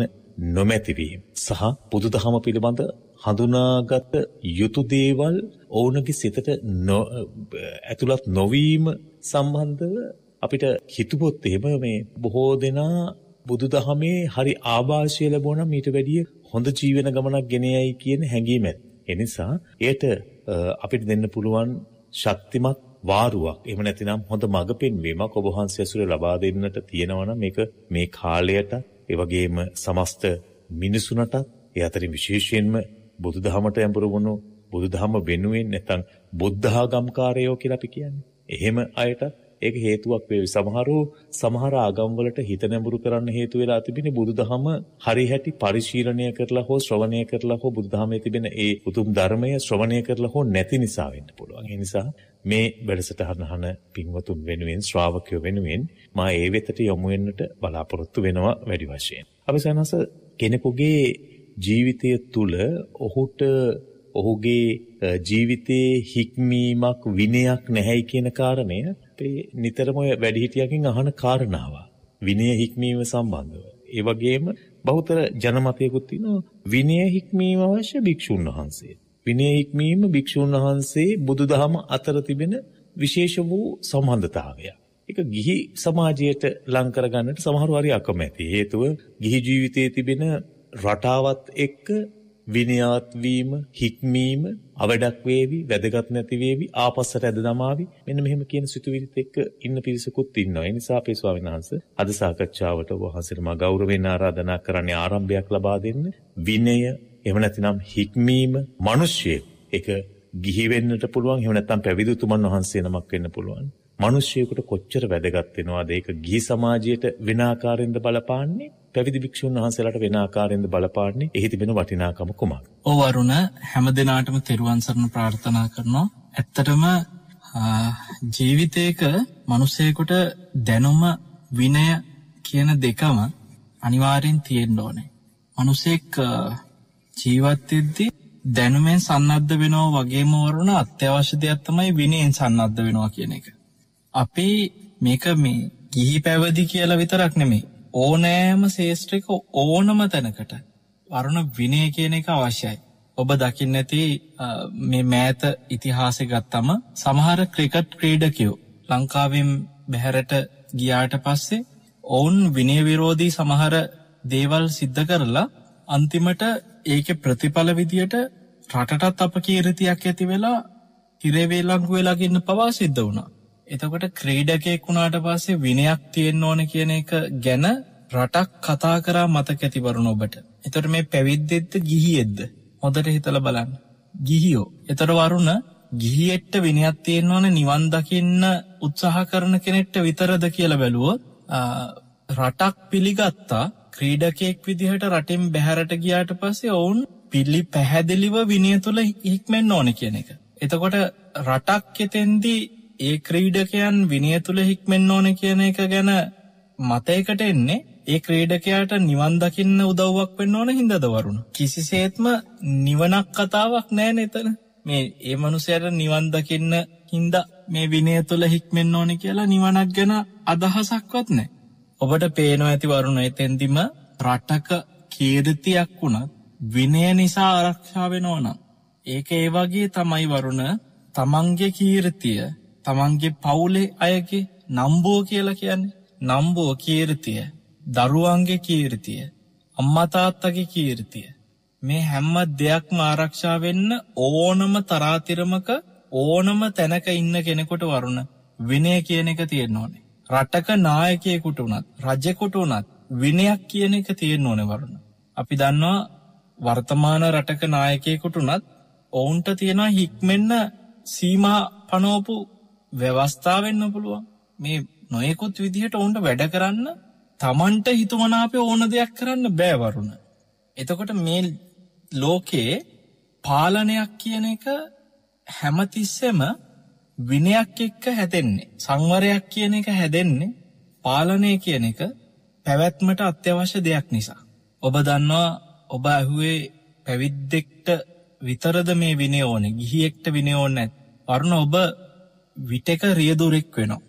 ඔබ මහපාරට ගියාට පස්සේ වාහනේ සුක්කානම අතට ගත්තට පස වරුණ ඔබේ භූමිකාව රියදුරා කියන භූමිකාව. ඔබ මට කියන්න ඔය උත්තරේදී මහපාරය රියදුරාට විනය අත්‍යවශ්‍යයිද නැද්ද වරුණ. එතකොට ඔහු පැවිද්දෙද්ද. ගිහියෙක්නේ එතකොට පැවිද්දට තමයි විනය බලපාන්නේ කිහියට ඒක අදාලනෑ කියලා කියනවාන හොතට හිතල බැලුවත් වරුණ හැම්ම තැනටම අසීමාන්තිකව ඕනෑම දෙයක් කරන්න පුළුවන් කියල කතාවක් කාටවත් කොතනවත් නෑවරුණ. හැම්ම දේකටම සීමාවත් තියෙනවා. හැම දේකටම වරුණ පාලනයක් තියෙනවා. ඒ පාලනය කියන එක ගිලිහිච්ච ගමන් විනයකින් හික්මෙන පාලනය කියන එක ගිලිහිච්ච ගමන් වරුණ පිරිහෙනවා පැවැත්ම නැති වෙනවා ඒක ලෝක ස්වභාවයක්. ඒ නිසා ඕනෑම තැනකට විනය කියන එකෙන් බැහැරවෙන්න බෑ දැනුම කියන එක නැතිවුණත් විනය කියන එක අත්‍යවශ්‍යයි. හැබැයි දැනුමයි විනයයි දෙකම සන්නද්ධ වෙච්ච තැන තමයි හරියටම පැවැත්ම තියෙන්නේ. දැන් ඔබ දන්නවා රියදුර පුහුණුවකට ගියපු කෙනෙකොට වරුණ දැනුම ලබා දෙනවද නැද්ද එහෙමයි අපිස. ඒ වගේම විනය ලබා දෙන්න ඇද එතන හික්මෙන් ඕන කරන නීතිරීතිත් කියල දෙනවා. එතකොට මේ දෙක ධර්මය තුළ හරි අපූරුවට උපමා කරලා තියෙනවරුණ මල්ලාසනයක මල්ටිකක් වගේ කියනවා දැනුම. හැබැයි ඒ මල්ටික නිකං හුද කලාව ඔහේ තිබ්බම පුළඟක් හමල වරුණ මේ මල්ටික වීසි වෙලා යන්න පුළුවන්. විසිරෙනවා මේක සමහරට ආසනයෙන් බිමට වැටෙන්න්න පුළුවන්. හුළඟෙක් ගහගෙන යන්න පුළුවන්. ඒ කියන්නේ පැවැත්මක් නෑ. මේකට පැවැත්මක් හැදෙන්න මේ මල්ටික ඔක්කෝම එක නූලකට ඇමුණුවට පස්සේ කියනවා මේක තනි එක බරක් බවට පත්වෙනවා එතකොට අර හුළඟකට ගහගෙන යන්න විසිරෙන්න්න තියෙන අවස්ථාව අවම වෙනවා. ආරක්ෂා වෙනවා. පැවැත්මක් හැදෙනවා. අන්න එතෙන්දි මල්ටික තමයි දැනුම. විනය තමයි නූල. එතකොට දැනුමෙන් සන්නද්ධ වෙච්ච කෙනා වුනත් ආරක්ෂාවෙන්න පරිසං වෙන්න විනිත් එක්ක කියනවා. ඒවගේ තමයි ධර්මය ගැන කොච්චර අවබෝධය හදාගත්තත් වැඩක් නෑ. විනය කියන එක භික්ෂුවටත් ඕනේ. ඒවගේ තමයි ගිහියටත්. දැන් ඔබ හිතන්නවරුණ ගුරුවරෙක් ගුරුවෘතියකට ඇවිල්ලා තියෙන්නේ දැනුමෙන් සන්නද්ධ වෙච්ච නිසා. එයා ඒ ගුරුවරෙක්ට අවශ්‍ය කරන දැනුම උකහගත්තා. එයා ඒ දැනුම අවශ්‍ය තැනට විභාග සමත්වෙලා ඒ අදාළ භූමිකාව භාරගන්න ගුරුවරෙක් කියන භූමිකාව. දැම් මේ ගුරුවරයවරුණ මට දැන් දැනුම හොඳට තියෙනවා මන් දැන් ගුරුවරේ මන් දැන් අනිත් අයටත් දැනුම දෙන කෙනෙක් දැන් ඉතින් මට ඕන දෙයක් කියලා එයාට හිතුමනාප වැඩ කරන්න බෑවරුණ. ඒ ගුරුවරයට විනය කියන එක නොතිබුණොත් ඒ ගුරුවරය අන්තිමට අපකීර්තියට ලක් වෙලා ගුරුවරයා කියන භූමිකාව පවා හිමි කරගන්න පුළුව. තමහරලාට වරුණ ගුරුවරයාගේ විනය නැතිකමින් නොහික්මුණු ක්‍රියාකලාපක අවසාහන ප්‍රතිඵල විදිහට ඔහු හිරේවිලංගු වැටෙන්න්න පුළුව. එහෙම වුණොත් ඔහු යම් කාලයක් ඊට පසේ ඉරදඩුවන් ලබලා අවසානය තමන්ගේ රැකියාවත් අහිමි වෙලා විශ්‍රාමයට පවා අහිමි වෙන්න පුළුව. ඒක නිසා පැහැදිලි දැනුම බෙදන කෙනාට වනත් තමන් දැනුමෙන් සන්නද්ධ වෙලා තව කෙනෙකුට දැනුම දුන්න කියලා නෑ විනය කියන එක පැවිද්දට වගේම ගිහියටත් කොතනටත් ඒ අත්‍යවශ්‍යයි. විවාහ ජීවිතයක් ගත කරන්න ආදරෙන් බැඳිච්ච දෙන්නේ. ඔවුන්ගේ පවුල ඇතුළේ විනයක් තියාගන්න ඕනෙන වරුණ. ඒ විනය නැතිනං ඒ පවුල් ජීවිතයට පැවැත්මක් නෑ. එතකොට දරුවන්ට විනය ගැන උගන්න අම්මතා අත්තට හැමතිස්සෙම අසීමාන්තික ඕන විදිකට හැසිරෙන්න්න බෑනේ. ඒ අම්මතාත්තටත් තියෙන දරුවලඟ ස්වයන් හික්මෙන්න්න විනයක්. විනය කියන එක මට කියන්නකො බලංගයාට පස්සේ කොතනටද ඕනෙ නැත්තේ? කාටද ඕනෙ නැත්තේ? හැම්ම තැනටම හැම කෙනාටම වරුණ විනය කියන එක අවශ්‍යයි. ඒක නැත්තම් පැවැත්මක් නෑ. ඒමයිස ඇතනසස විනය කියන එතකොට මොකක් විනය කියලා කියන්නේ හික්මීම කියලා කියන්නේ ඔක්කොම දරාගෙන පැත්තකට වෙලා නිශ්ශබ්ද වෙයින්. එහෙම නැතිනම් සමාජයේ පරිබාහිරට ගිය විට බොහොම අර බිම බලාගෙන අඩිය තියනකොට එන්න එහෙම අපි සමාජ හදාගෙන තියනන මතවාද? අර බලන්නක ඇවිදින හැටි බොහෝම විනවත් ඉදිර ඇවිදිනවා කියලා. අන්න ඒ ඒ කියන රාමුවයි පමණ ඒ කියන රාමුවෙන්ද අපි විනය හොයන්න? මොකද විනය කියලා අර්ථ කරනවන්නේ ස්වාමීන් වහන්සේ? ඒකට පැහැදිලි කරගත්තොත් එහෙම සමහරු හිතනවා සිල්ගත් දවසට හෙල්ලෙන්න එපා කියලා හිතාගෙන ඉන්නවා. තියෙනවා ඇත්තටම ඒකට සිල්වත් බව තියෙන්නේ ඒ කියන්නේ සිල්වත් කියන්නේ ඒ සිල්වත් කියන නාමයේ කොටසක් විනය කියලා හිතාගෙනද. එතකොට ඇඟහෙල්ලීම හයියෙන් කතා කර මේවැ එහෙම නිර්ණායක දෙන්න පුළුවන්ද විනය කියන එකට එහෙම අර්ථ ගන්නවන්න පුළුවන්ද මොකක්ද විනය කියන එක. වරුණ මේ ලෝකේ විනය කියන එක අපි කියමුකෝ උදාහරණ විදියට අපි ගත් කතා කරපු මාතෘකාව ඇත්තුලෙම දැන් රේදුරෙක් ගැන කතා කර. එතකොට රේදුරෙකුට අවශ්‍ය කරන විනය කියලා මොනවාද හදල තියෙන්නේ. ඔහු සමහර වෙලාවට දැන් මහපාරය යනකොට අනතුරක් වෙන්න පුළුවන්ය කියලා හිතෙන එකන්නේ ඔහුගේ හැසිරීමෙන් ඔහුට හෝ තව කෙනෙකුට හෝ හානියක් වෙන්න පුළුවන් අනතුරක් වෙන්න පුළුවන් කියන තැන්වල ඒ ක්‍රියාවලට ඒක වලක්වල ඒක එවිදියට නොවී යුතුයි කියන තැනට නීතියක් පනෝන විනයක් හදනවා. එතොට ඒ විනය හදන්න හේතුනේ මොකක්ද. මෙයා මේ සැපට යන එක නවත් අන්්ඩෝනේ මෙයාට ඕන ඕන විදියට එහෙම වැඩ කරන්න දෙන්න බෑ අපිට ඕන විදියට යා හැදෙන්ඩ ඕන කියලා රටක නීතිය විසින් අර මනුස්්‍යයා මේ යටපත් කරගෙන ඉන්න ඕනකමට කරපු දෙයක් නෙමේනේ ඒ මනුස්්‍යයගේම ආරක්ෂාවට ඒ මනුස්්‍යයාගෙන්ම හිතසුව පිණිස. සහ අනිත් මිනිස්සුන්ගේ හිතසුව පිණිස. අනිත් අයගේ යහපත පිණිස. අනිත් අයගෙත් පහසුව පිණිස රියදුරාගෙත් පහසුව පිණිස. එතකොට ඒ විනයේ හික්මෙනවා කියන්නේ ඒක තමන්ටත් පහසුවක් අනිත් කෙනාටත් පහසුවක්. තමන්ටත් ආරක්ෂාව අනිත් කෙනාටත් ආරක්ෂාව. වරුණ හැම තැනකම විනය තියෙන්නේ ඔන්න ඔය විදිහේ න්‍යායන් එක. දැන් ධර්මය තුළ වනත් බුදුරජාණන් වහන්සේ විනය ශික්ෂාපද පනවනෝනම් ධර්ම විනේ බුද්ධ ශාසනය තුළ ඒත් ඔය වගේ තැන් සංග සුට්ටුතාය සංග පාසුතාය දුම්මංකෝනම් පුද්ගලානන් නිග්ගහාය අපසන්නානංවා පසාදාය පසන්නානංවා බියෝභාවාය සමාධි සංවත්තනිකෙහි මේ පෙන්නන බොහෝ කරුණු ඇතුළ තියෙන්නේ බැලුවට පසේ මොකක් හින්දද විනේ පැනව්වේ කියලා උන්හස පෙන්නල තියෙනවා. ඇයි මං විනේ පැනව්වේ කියල බුදුරජන්හසේ. සංග සුට්ටුතාය සංගපාසුතාය ඒකැන සංඝයාගේ පහසුව වෙනුවෙන්. සංඝයාගේ සැපය වෙනුවෙන්. හැරි එතකොට තැන් රියදුරාට මේ විදිහට යන්න එපා කියලා විනයක් නීතියක් පනවල තියන්නේ ඒ රියදුරාගෙම පහසුවට. ඇයි ඒක පහසුව කියන්නේ ඒ විනය කඩ කරලා ඔහු යම් අනතුරකට ලක්වුණාට පස්සේ ඒ අනතුරෙන් ඔහු අපහසුතාවට පත්වෙනවා. ඒ අනතුර නිසා. එදකට වරුණ අපි සමහරට පාරයන වෙන කෙනෙක් අපහසුතාවට පත්වෙන.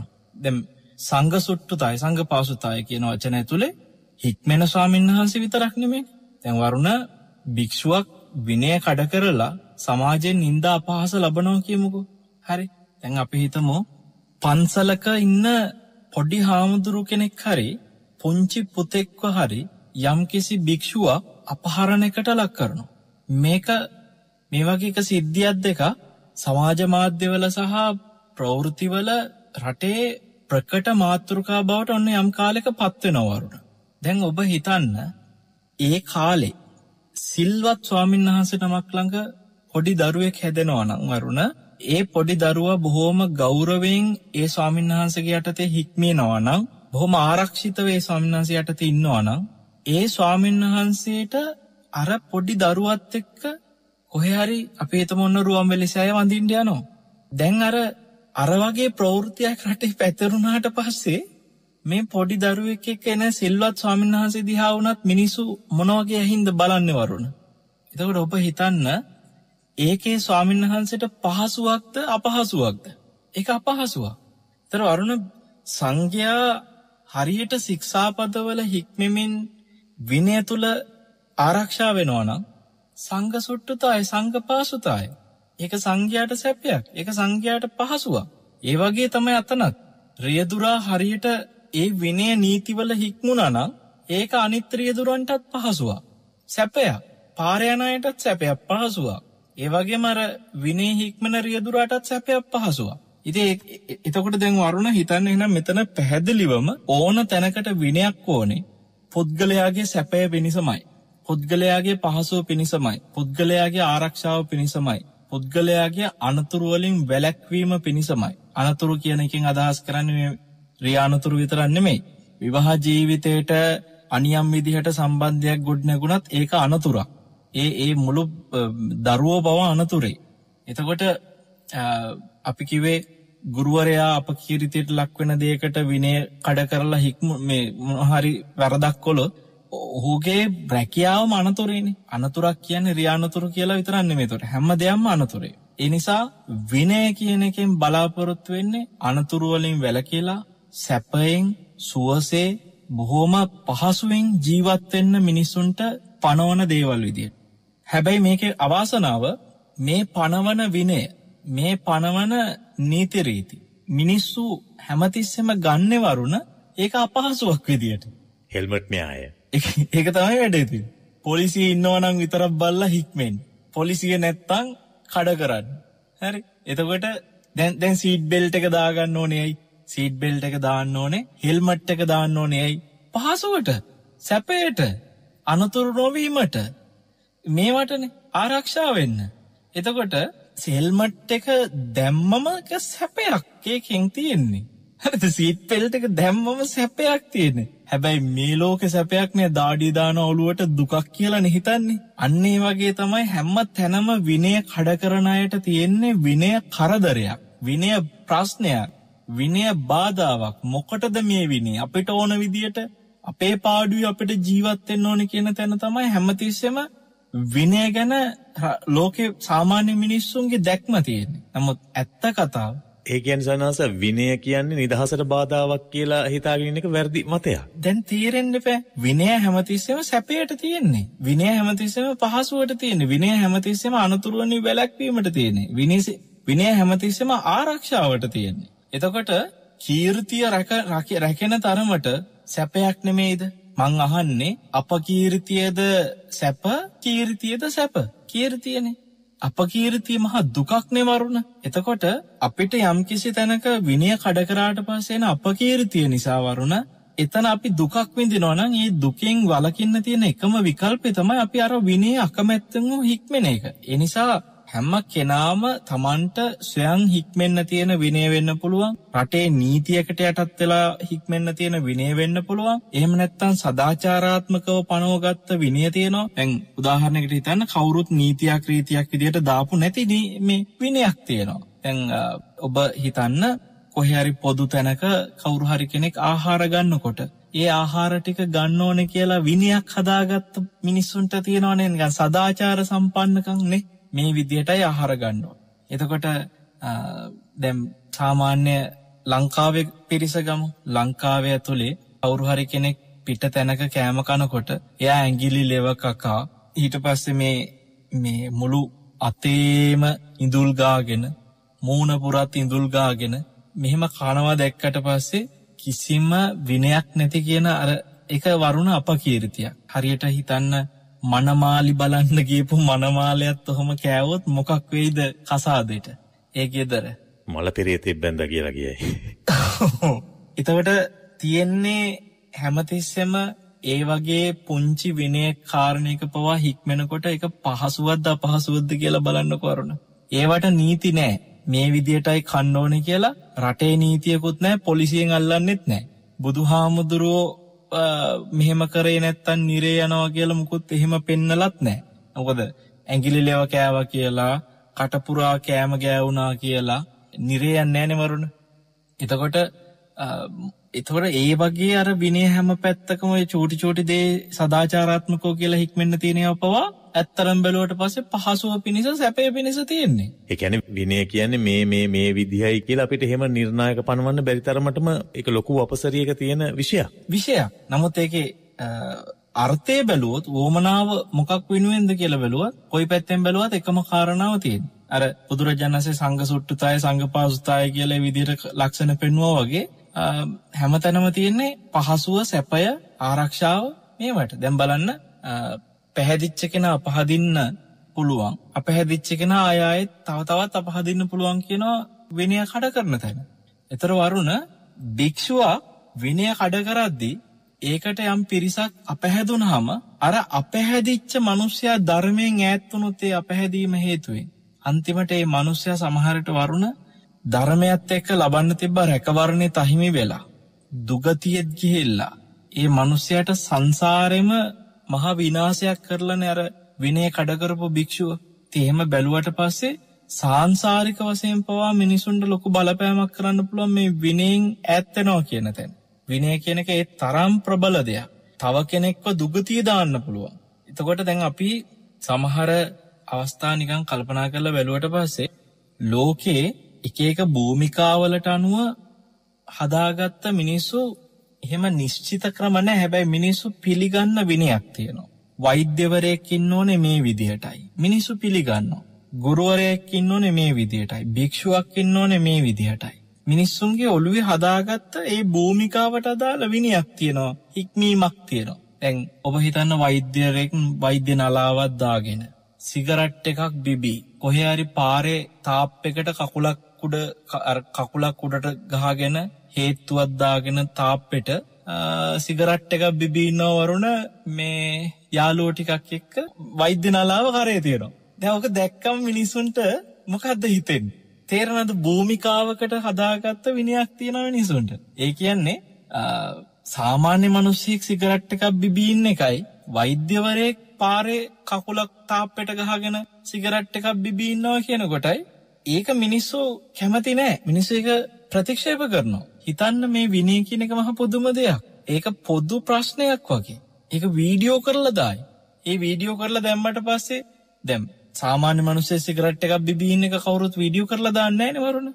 හාමුදුරු කෙනෙක් සිගරට් එකක් බිබී හිටියොත් ඩොක්ට කෙනෙක් සිගරට්ටයක් බිබිට මිනිස්සු එක කැමති නෑ එතකොට අපිට තේරෙනවා දැම් ඔය දේශපාලකයෝ සමහරලාට හිතනවා ඔවුන්ට ඕන විදියට මිල මුදල් භාවිතා කරන්න ඔවුන්ට මේ නිදහස නෑල් ඔවුන්ට ඒවට හිවිනයක් තියෙනවා කියලා උන් හිතනවා.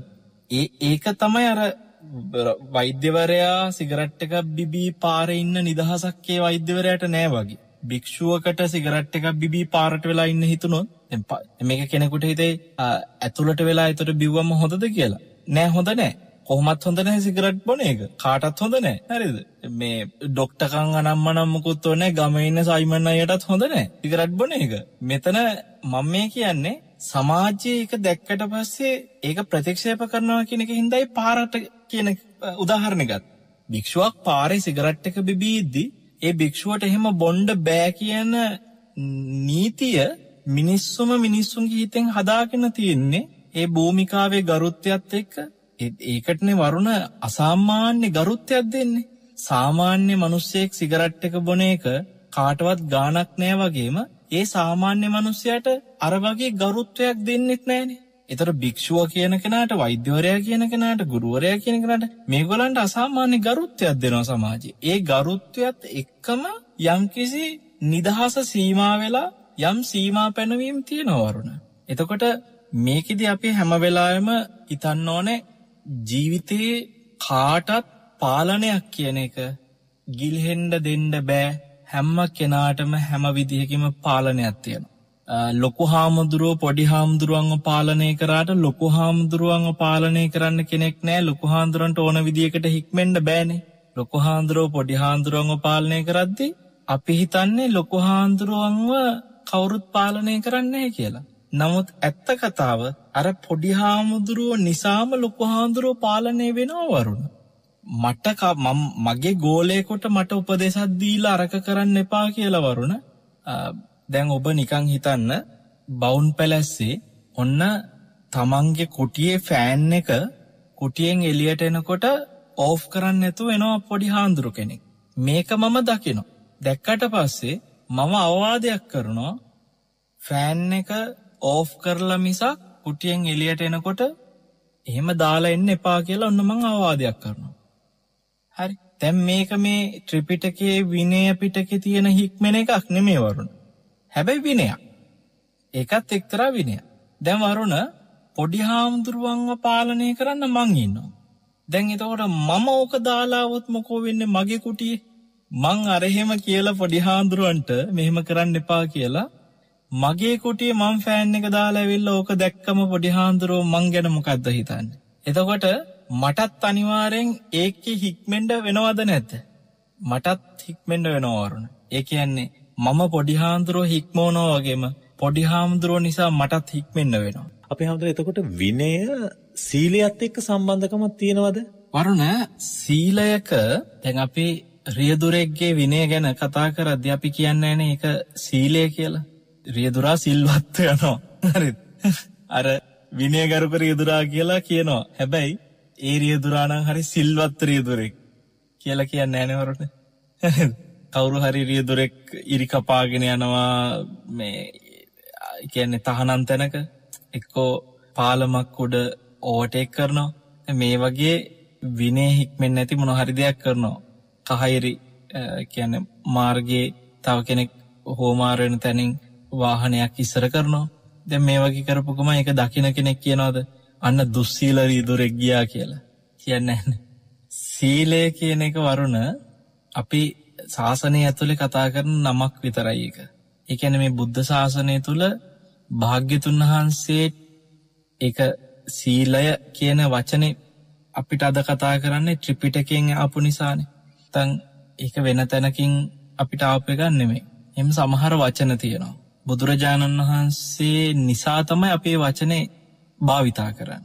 එතකොට ශාසනය තුළ කතා කරන බුදු කෙනෙක් පනෝපු මේ විදියට හික්මෙන්න කියලා කියපු සමාධිය පිණිස උපකාරී කරන නිවන පිණිස උපකාරි කරන ශාසනයේ පැවැත්ම පිණිස උපකාරි කරන දේවල්තමයි වරුණු මේ සීලය කියලා කියන්න.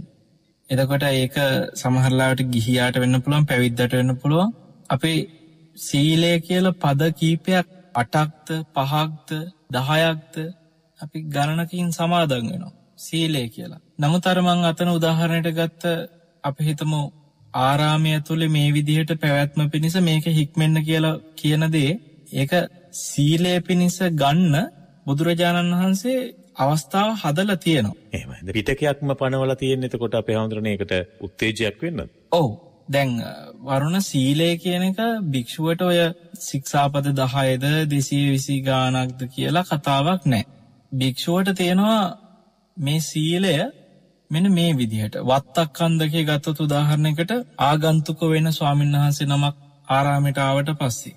මේ ආගන්තුක ආපු ස්වාමීන් වහන්සට වැසිකෙලිය කොතනද කියලා පෙන්නන එක පවා සීලෙට අයිතිවරුණ. ඒක වත්තක් කන්දගේ වතක් විදියට තියෙනවා.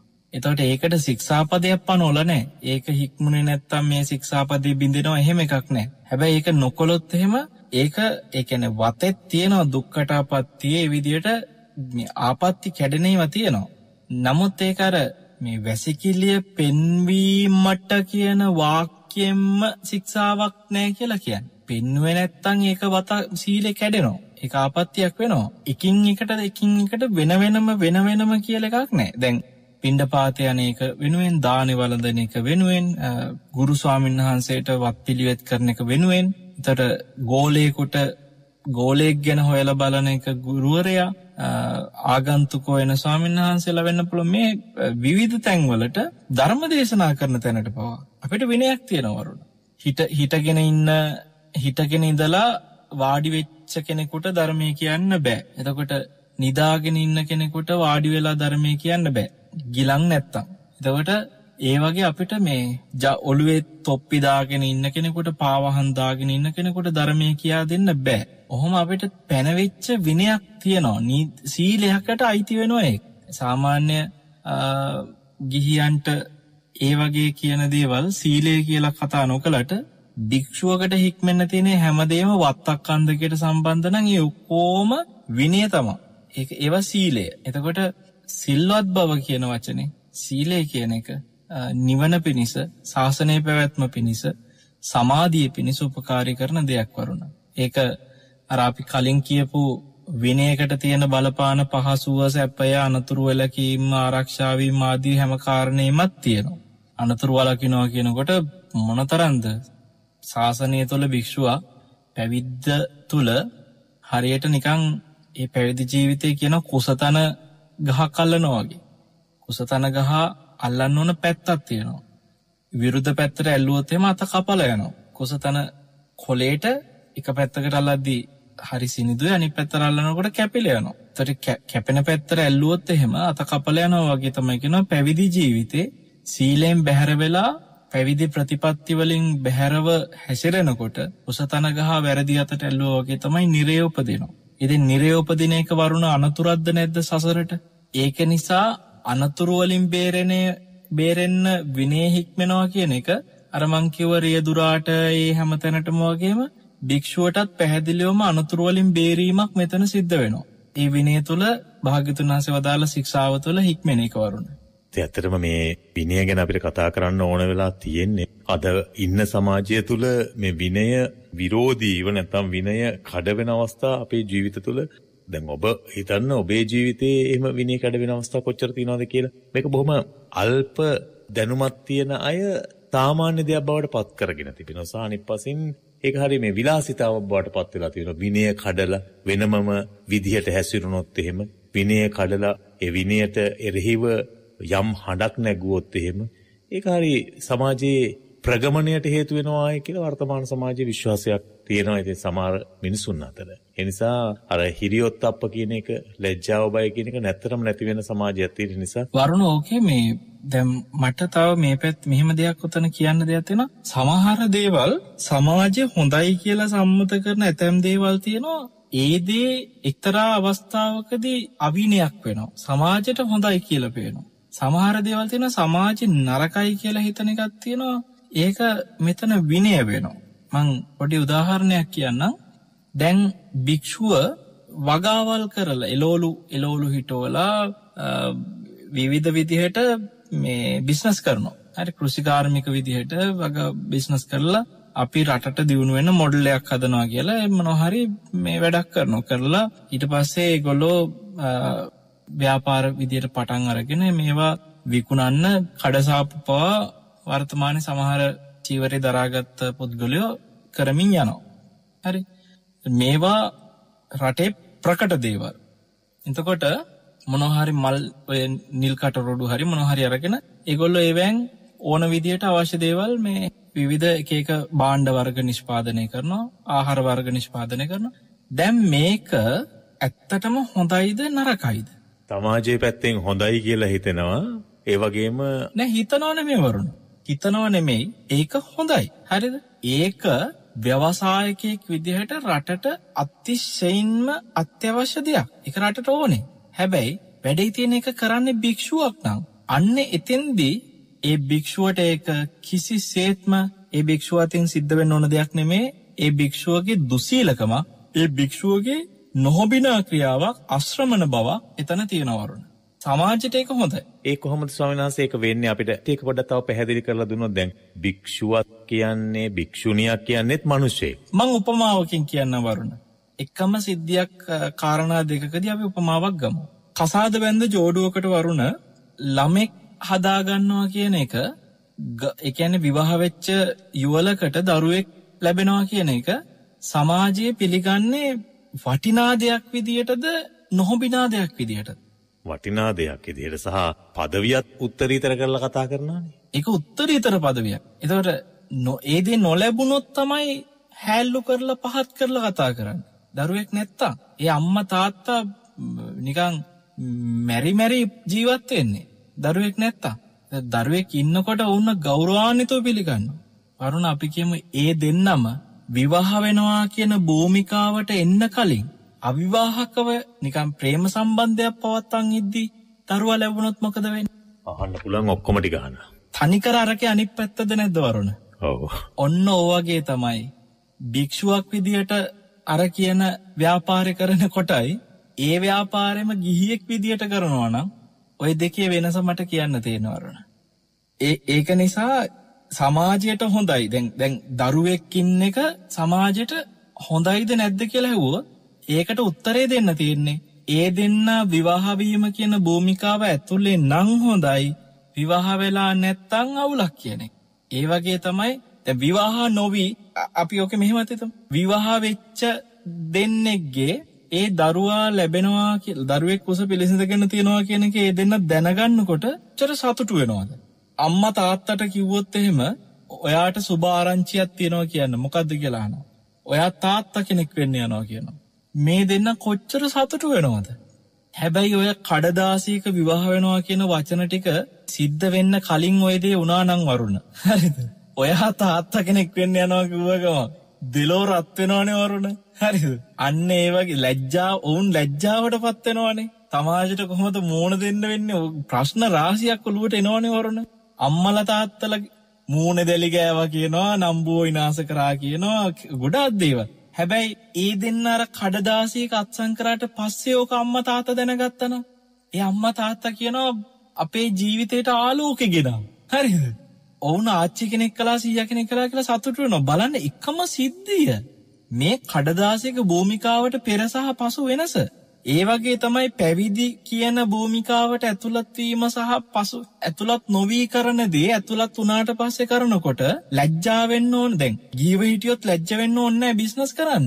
හැබැයි පැවිදි වෙලායකරුත් ලැජ්ජ වෙන්න ඕන ඒ අප කීර්තියක් ඒක නින්දාවට ලක් වෙන දෙයක්. දැන් වැඩේ තියෙනවරුණ ඒ වගේ වගා කර කර නින්දාවට ලක්වෙන දේ කර කර සමාජයේ කිසි ලැජ්ජාවක් නැතුව වැජබෙන අය මේ භාග්‍යතුන් වහන්සේ වෙනුවෙන් අපි ඖෂධ පූජාවක් කරපු ගමන් ඒකට අපිට කෑ ගහනවා බිස්නස් කාරයෝ බිස්නස් කාරයෝ කියලා. බුදුදහම බිස්නස් කරයි. එතකොට ඒ ඖෂධ 108 පාත්‍ර බාරගත්ත අය ඔක්කොම මේ නෙත්තහන ශ්‍රාවකයෝ ඒ ඒ ඖෂධ පාත්‍රයක් බාරගෙන ඖෂධ ටික සකස් කරගෙන කසාය ටික හදාගෙන තෙල් බෙහෙත් හදාගෙන ඔවුන් නැවිල්ලා පූජා කරා ඒ කසාය හදපු අයගෙන් තෙල් බෙහෙත් හදපු අයගෙන් චූර්ණ හදපු අයගෙන් අහන්නකෝ වරුණ අපි සත පහක් එකතු කරාද කියලා අපි මෙතන මොනවහරි බිස්නස් කරාද කියලා? අපි ඔවුන් සාක්ෂි දරාවේ 108 පාත්‍ර 108ෙම ඉන්න ඖෂධ සකස් කරපු ඒ 108 දෙනාම සාක්ෂි දරාවේ අපි ඒවා බිස්නස් කරලා නැහැ. හැබැයි අර නිල් කටරොඩු අරගෙන වගා කරලා ඒවැන් අයිස්ක්‍රීම් හදලා එක එක සබන් කැට හදලා සැම්පු හදලා ඒවට දැන් කඩසාප්පුත් හදලා බිස්නස් කරලා ව්‍යාපාර කරන අය අපිට බයිනවා. අපි මේ භාග්‍යතුන් වහන්සේගේ සෑයක් ළඟ ඖෂධ පාත්‍ර පූජා කරනවා අපි බිස්නස් කාරයෝ කියලා. ඉතින් මේ වගේ අශ්‍රමණයෝ ශ්‍රමණ සාරූපයක් නැති ඒ කියන්නේ සරලව කිව්වොත් එහෙම කසාද බඳින්න නැතුව ළමයි හදන જાතියේ මේ ලැජ්ජාශීලී වැඩ කරන විදිහට පැවිදි ජීවිතය ගත කරන ඇතැම් මුදවිය අශ්‍රමණ වැඩ කර කර ශ්‍රමණ සාරූප්‍ය මත භික්ෂුවක් කරන දේ විවේචනය කරන එක හරිම ලැජ්ජාශීලී. ඉතින් විනය කියන එක අමුමේ ඝාතනය කර කර වරුණ අවිනය හරි මේ සදාචාරාත්මක විදිහට පෙන්වන්න උත්සාහ කරන චරිත තමයි අද රටේ කියන්නේ මතු වෙලා තියෙන. ඉස්මතු වෙලා දැන් වැජබෙන්නේ. ඔව්. ඔතන දැන් ස්වාමීන් වහන්සේ දැන් අපි භික්ෂූන් වහන්සේලා හිතන්නේ අපේ සමාජයේ ප්‍රගමණයට මඟ පෙන්වන අනුශාසකයන් වහන්සේලා කියලා. දැන් එතකොට ඒ වගේ තත්වයක් තුළ ඒ ඒ ඇහිම් බලන ගිහියෝ විදියට අපි එන අසරණ වෙනවා. අපි ලොකුවට ජීවිතේ විනාශයකට ගෙන යනවා. වරුණ මේ දැන් ඔබ දකිනවා ඇති සමහර වෙලාවට කසාද බඳිනවා ඇතැම් රටේ ප්‍රසිද්ධ චරිත එක්කෝ ඒ කසාද විවාහ වෙන මනමාලේ හෝ මනමාලි අවුරුදු 50 80 අතර වගේ වයසක. මනමාල් අනිත් පැත්තෙන් එයාගේ සහකාරයට හෝ සහකාරියට එන කෙනා කො අවුරුදු 20යි 30 30 35 වගේ තරුණ වයසේ. දැන් අවුරුදු 30ක විතර කෙනෙක් අරහින් අවුරුදු 70 ගානක විතර කෙනෙක්ව බඳිනවා. දැන් මේවා සමාජයේ විහිළුවකට ලක් කරලා කතා කරනවානේ. එතකොට තාත්තා කෙනෙක් නෙමෙයි තමන්ගේ නිකන් සීයා කෙනෙක්ගේ වයසේ වගේ කෙනෙක් බඳිනවා නම්. තමන්ගේ අම්මගේ වයසේ වගේ කෙනෙක් බඳිනවා නම්. සමහරලාට මේ වගේ ප්‍රසිද්ධ අයම මේවා කරන වෙලාවල් වලදී සමාජයේ මේවා ඔබ දකින්න ඇති නිකන් ඒවා ගැන විවේචන කරනවා මේක ගැලපෙන්නේ මේක සදාචාරාත්මක නෑ කියලා. හැබැයි වරුණ ඒවා කාලයක් නිකන් ප්‍රසිද්ධිය කරගෙන කරගෙන කරගෙන ඔහි යනකොට ඊට පස්සෙ සමාජයට සාමාන්‍ය දෙයක්. සමාජය ඊට පස්සේ ඒක ප්‍රශ්නයක් හැටියට දකින්න නැති කාලයක් වෙනවා. මේක ගානක් නෑ කියලා හිතන කාලයක් වෙනවා. දැන් හාමුදුරු කෙනෙක් පාර්ලිමේන්තු යනවා කියන එක ලැජ්ජා වෙන්න ඕන දෙයක් වරුනේ. ඡන්ද ඉල්ලනවා කියන එක ලැජ්ජ වෙන්න ඕන දෙයක්. හරිද? දැන් ගානක් නැහැනේ. දැන් හාමුදුරු කෙනෙක්ගේ නම ඡන්ද ලැයිස්තුවේ තිබ්බා කියලා මිනිසුන්ට ඒක දැක්කට ගානක් නැහැ. මිනිසුන්ට ප්‍රශ්නයක් නැහැ. එතකොට හැමතිස්සෙම අවිනය කියන එක උනත් සමාජයේ සාමාන්‍ය දෙයක් බවට පත් කරලා ඒක ගානක් නැති කරවන්න පුළුවන්. බුදුරජාණන් වහන්සේ පෙන්නනවා අන්න ඒ වගේ දේ කරන ශ්‍රමණයෝ ඉන්නවනේ වරුණ. මේ වගේ ශ්‍රමණයෝ දෙවියන්ටත් මිනිසුන්ටත් අහිත පිණිස හේතු වෙන මේ ශාසනයේ භක්ෂකයෝ. ශාසනය විනාශ කරන අය. මොකද මේ ශාසනයේ යම්කිසි කෙනෙකුට වරුණ ප්‍රශ්චිම ජනතාවට පුරුදු කරනවා නම් අවිනය කියන එක සාමාන්‍ය දෙයක් බවට පත් කරෝමි. ඕක ගණන් ගත යුතු දෙයක් නෙමෙයි කියලා පෙන්නමින් අවිනය විනය කරනවා. වරුණ අවිනය තමන් අවිනය හික්මෙනවා එකන තමන් අවිනය තුළ බැහැගෙන ක්‍රියා කරනවාට එහා ගිය අනතුරත් තමයි ඒ අවිනය සමාජයට සාමාන්‍ය දෙයක් බවට පරිවර්තනය කරන එක. ඒක ඊටත් වඩා අනතුරුයි. මොකද මෙතනදී තමන් විතරයි වරුණ අවිනේ බැහැගෙන විනාශ වෙන්නේ. හැබැයි අර කියන අවිනය සාමාන්‍ය දෙයක් බවට පත් කරලා ඒක සමාජයට ගානක් නැති කරලා සමාජයේ ඒක අනුගමනය කරන තැනට පත් කෙරුවට පස්සේ තමන් හික්මිච්ච අවිනයම හික්මෙන තවත් අශ්‍රමණයෝ ගොඩාක් මඟ පෙන්නලා හදලා ඉවරයි. එතකොට ඒ තරම් ශාසනය විනාශ කරන භක්ෂකයෝ තව නැහැ. ඉතින් වර්තමානයේ හිම කරන අයම ධර්ම දේශනා කරන දේශකයන් වහන්සේලාට නින්දා පහස කරගෙන උන්වහන්සේලා ශ්‍රාවකයන්ට කුසලයක් වැඩෙන්න සිදු කරන ආමිස පූජාවකට නින්දා පහස කරගෙන ඒ කියන්නේ කොටින්ම ශාසනය තුල සිද්ධ වෙන ගෞරවාන්විත දෙයට නින්දා පහස කරන ඇඟිල්ල දික් කරනවා ඔවුන් දැන් මේ මේ පූජාපා පූජා කරන ඖෂධ පාත්තරයට රිදෙනවා. හැබැයි ඔවුන් ඔවුන්ගේ පන්සල් වල අර එලෝලු අවන පන්සල් වල විශ්ණු ශිව බ්‍රහ්ම කියන ත්‍රිමූර්තිවලට පූජා පවත්වනවා පිළිම හදාගෙන කොවිල් හදාගෙන. එත මේ රුවන්වැලිසෑයට ඖෂධ පාත්තරයක් පූජ කරපු ගමන් තමයි රිදෙන්නේ. ඉතින් මේ අශ්‍රමණයන්ගේ මේ ක්‍රියාකලාප වරුණ භාග්‍යතුන් වහන්සේ හිටියනම් කිසිසේත්ම මේවට නිහඬව බලන් ඉන්නවා කියලා ඔබ හිතනවද වරුණ? හිස් මිනිහෝ කියලා උන්වහන්සේ අමතපු තුච්ච මිනිහෝ කියලා උන්වහන්සේ මෝග පුරුෂය කියලා අමතපුවා බැලුවට පස්සේ මෙච්චර බරපතල දේවල් නෙමෙයි පොඩි දෙයකටත් උන්වහන්සේ අමතුවා. තුච්ච මිනිහෝ කියලා. මෝගපුරුෂය කියලා. මේ මේ මිනිස්සු කරන ඒවා බුද්ධ කාලෙ කරානං වරුණ මන් දන්න කොහොම අමතයිද කියලා. මංහිතන්නේ අපිට අද වැඩසටහන නිවා කරන්න කාලය ලැබිලා තිබෙන මේක තමයි පරිහානිය. අපි දියුණුයි කියලා කරපින්නාගෙන යන උත්සාහ කරන පරිහානිය තමයි මේ. විනයක් කොච්චර රටකට දැයකට එහෙම නැතිනම් සමාජයකට ගමකට ගෙදරකට පුද්ගලයකුට වටිනවද කියන කාරණය ඔබහන්සු මනාව පැහැදිලි කරලා දුන්න අපේ ස්වාමීන් වහන්සේ. ඒක ගිහිද පැවිදි කියලා අදාළත් නැති වෙන ආකාරයෙන් මේ තුල තිබෙනා වූ සමාජ ප්‍රගමණයට හේතු වෙන අවස්ථාවන්, Tamanගේ ජීවිතයේ උන්නතියට හේතු වෙන අවස්ථාවන් ඔබහන්සු මනාව පැහැදිලි කළා. ඉතින් ඒ නිසා ඒ නිසාම වෙන්නට ඕන බුදුරජාණන් වහන්සේ මම හිතන්නේ මේවට පිටකයක්ම පනවලා තිබෙන විනය පිටකයක්ම තියෙන්නේ. ඉතින් මේවා අපේ ජීවිත හැඩගස්සවන්නට, දෙලොව ජය ගන්නට, අනිත් පස්සේ නිර්වාණය කරා යන්නට ලොකු ශක්තියින් ඒ ශක්තිීන් වර්තමාන සමාජයෙන් බිඳී යෑම ඒ සඳහා ශක්තිීන් ඇති කළ යුතු පාරුෂවයන් මේවා විනාශ කිරීම කනගාටුවට කාරණයක් වගේම පිරිහීමට කාරණයක් එනිසා පිරිහෙන් එපා ඔබ මේ වගේ දේවල් දුටුවිට. පිරිහෙන් එපා ඔබ මේ වගේ දේවල් ඇසුවිත්. එනිසා විනයවත් හික්මීමක් ඇති මිනිසෙකු වූ විට බුදු දහමත් සමඟ තිබෙන මේ අවියෝජනීය සම්බන්ධතාවේ සාර්ථකව ගෙන යන්නට ඔබට හැකියාවක් ලැබේවි. ඒ වෙනුවෙනුයි අද සිතනිත අසොප්පුවේ මේ සාකච්ඡාව වෙනුවනේ. අපට කාලය වැඩසටහන නිමා කරන්නට එළඹ තිබෙන නිසාවෙන් අද සාකච්ඡාව නිමාවට පත් කරනවා. ඔබට ආරාධනා කරනවා ලබන සෙනසුරාදා ඓතිහාසික කූරගල පුදබිමට එන්න. ඒ බුදුරජාණන් වහන්සේ වෙනුවෙන් සිදු කරන්නා වූ ඉතා වටිනා වූ පින්කම බුද්ධගතා සති පින්කම කූරගල පුදබිමේ පැවැත්වෙනවා. පූජනීය ගලිකම ඥානදීප ස්වාමීන් වහන්සේ බලංගොඩ රාධ ස්වාමීන් වහන්සේ නෙල්ලිගල ස්වාමීන් වහන්සේ එවගේම ගණේකන්දේ චන්දරත්න ස්වාමීන් වහන්සේ ඇතුළු කොටගත්තු මහා සංඝරත්නයේ අනුශාසනාවන් එක්කයි මුළු රාත්‍රිය පුරගල පුදබිමේ ගෙවන්නට ඔබට වාසනාව ලැබෙන්නේ. බුද්ධගතා සති පින්කම සැප්තැම්බර් 2 වෙනිදා හවස 4ට ආරම්භ වෙන්නේ. ඒ සඳහා ඔබට ආරයුම් කරමින් අද සිත්නෙත අසපුව තුළ ඔබට අනුශාසනා කරපු සෙනසුරාදා සිත්නෙත අසපේ ගරු දේශකයාණන් වහන්සේ පූජනීය වල්පොළ ගෞතම ස්වාමීන් වහන්සේ සිදු කරන්නා වූ මේ දේශනාව ලබන සතියේ ඉරිදා දවසේ පැවැත්වෙන වගත් සිහිපත් කරමින් උන්වහන්සේට තව চিරාත් කාලයක් මේ අවිනයවත් එවැගේම සමාජයට මහා පිළිකුලක් ගෙන දෙන්නා වූ සමාජය විනාශ කරන්නා වූ අධර්මකාමී මතවාදයන් යටපත් කොට ඛණ්ඩනය කොට පැහැදිලි සුපැහැදිලි ධර්මය සමාජගත කරන්නට ශක්තිය ධෛර්යය නිදුක් නිරෝගී භාවය දීර්ඝායුෂ ලැබේවා කියලා ප්‍රාර්ථනා කරමින් උතුම් ධර්මාවබෝධය පිණිසම ඒ කරන්නා වූ උතුම් කුසල කර්මයන්ම හේතු වේවායි කියා ප්‍රාර්ථනා කරමින් අද සිතෙත අසපුව නිමවට පත් කරනවා. හැම දෙනාට තෙරුවන් සරණයි ඔබ නෙතෙෆම් බණ YouTube නාලිකාවෙන් මේ වැඩසටහන් නැවත ශ්‍රවණය කරන්නේ සඳහාත් ඔබට ගෞරවයෙන් ආරාධනා කරනවා. හැම දෙනාටම තෙරුවන් සරණයි.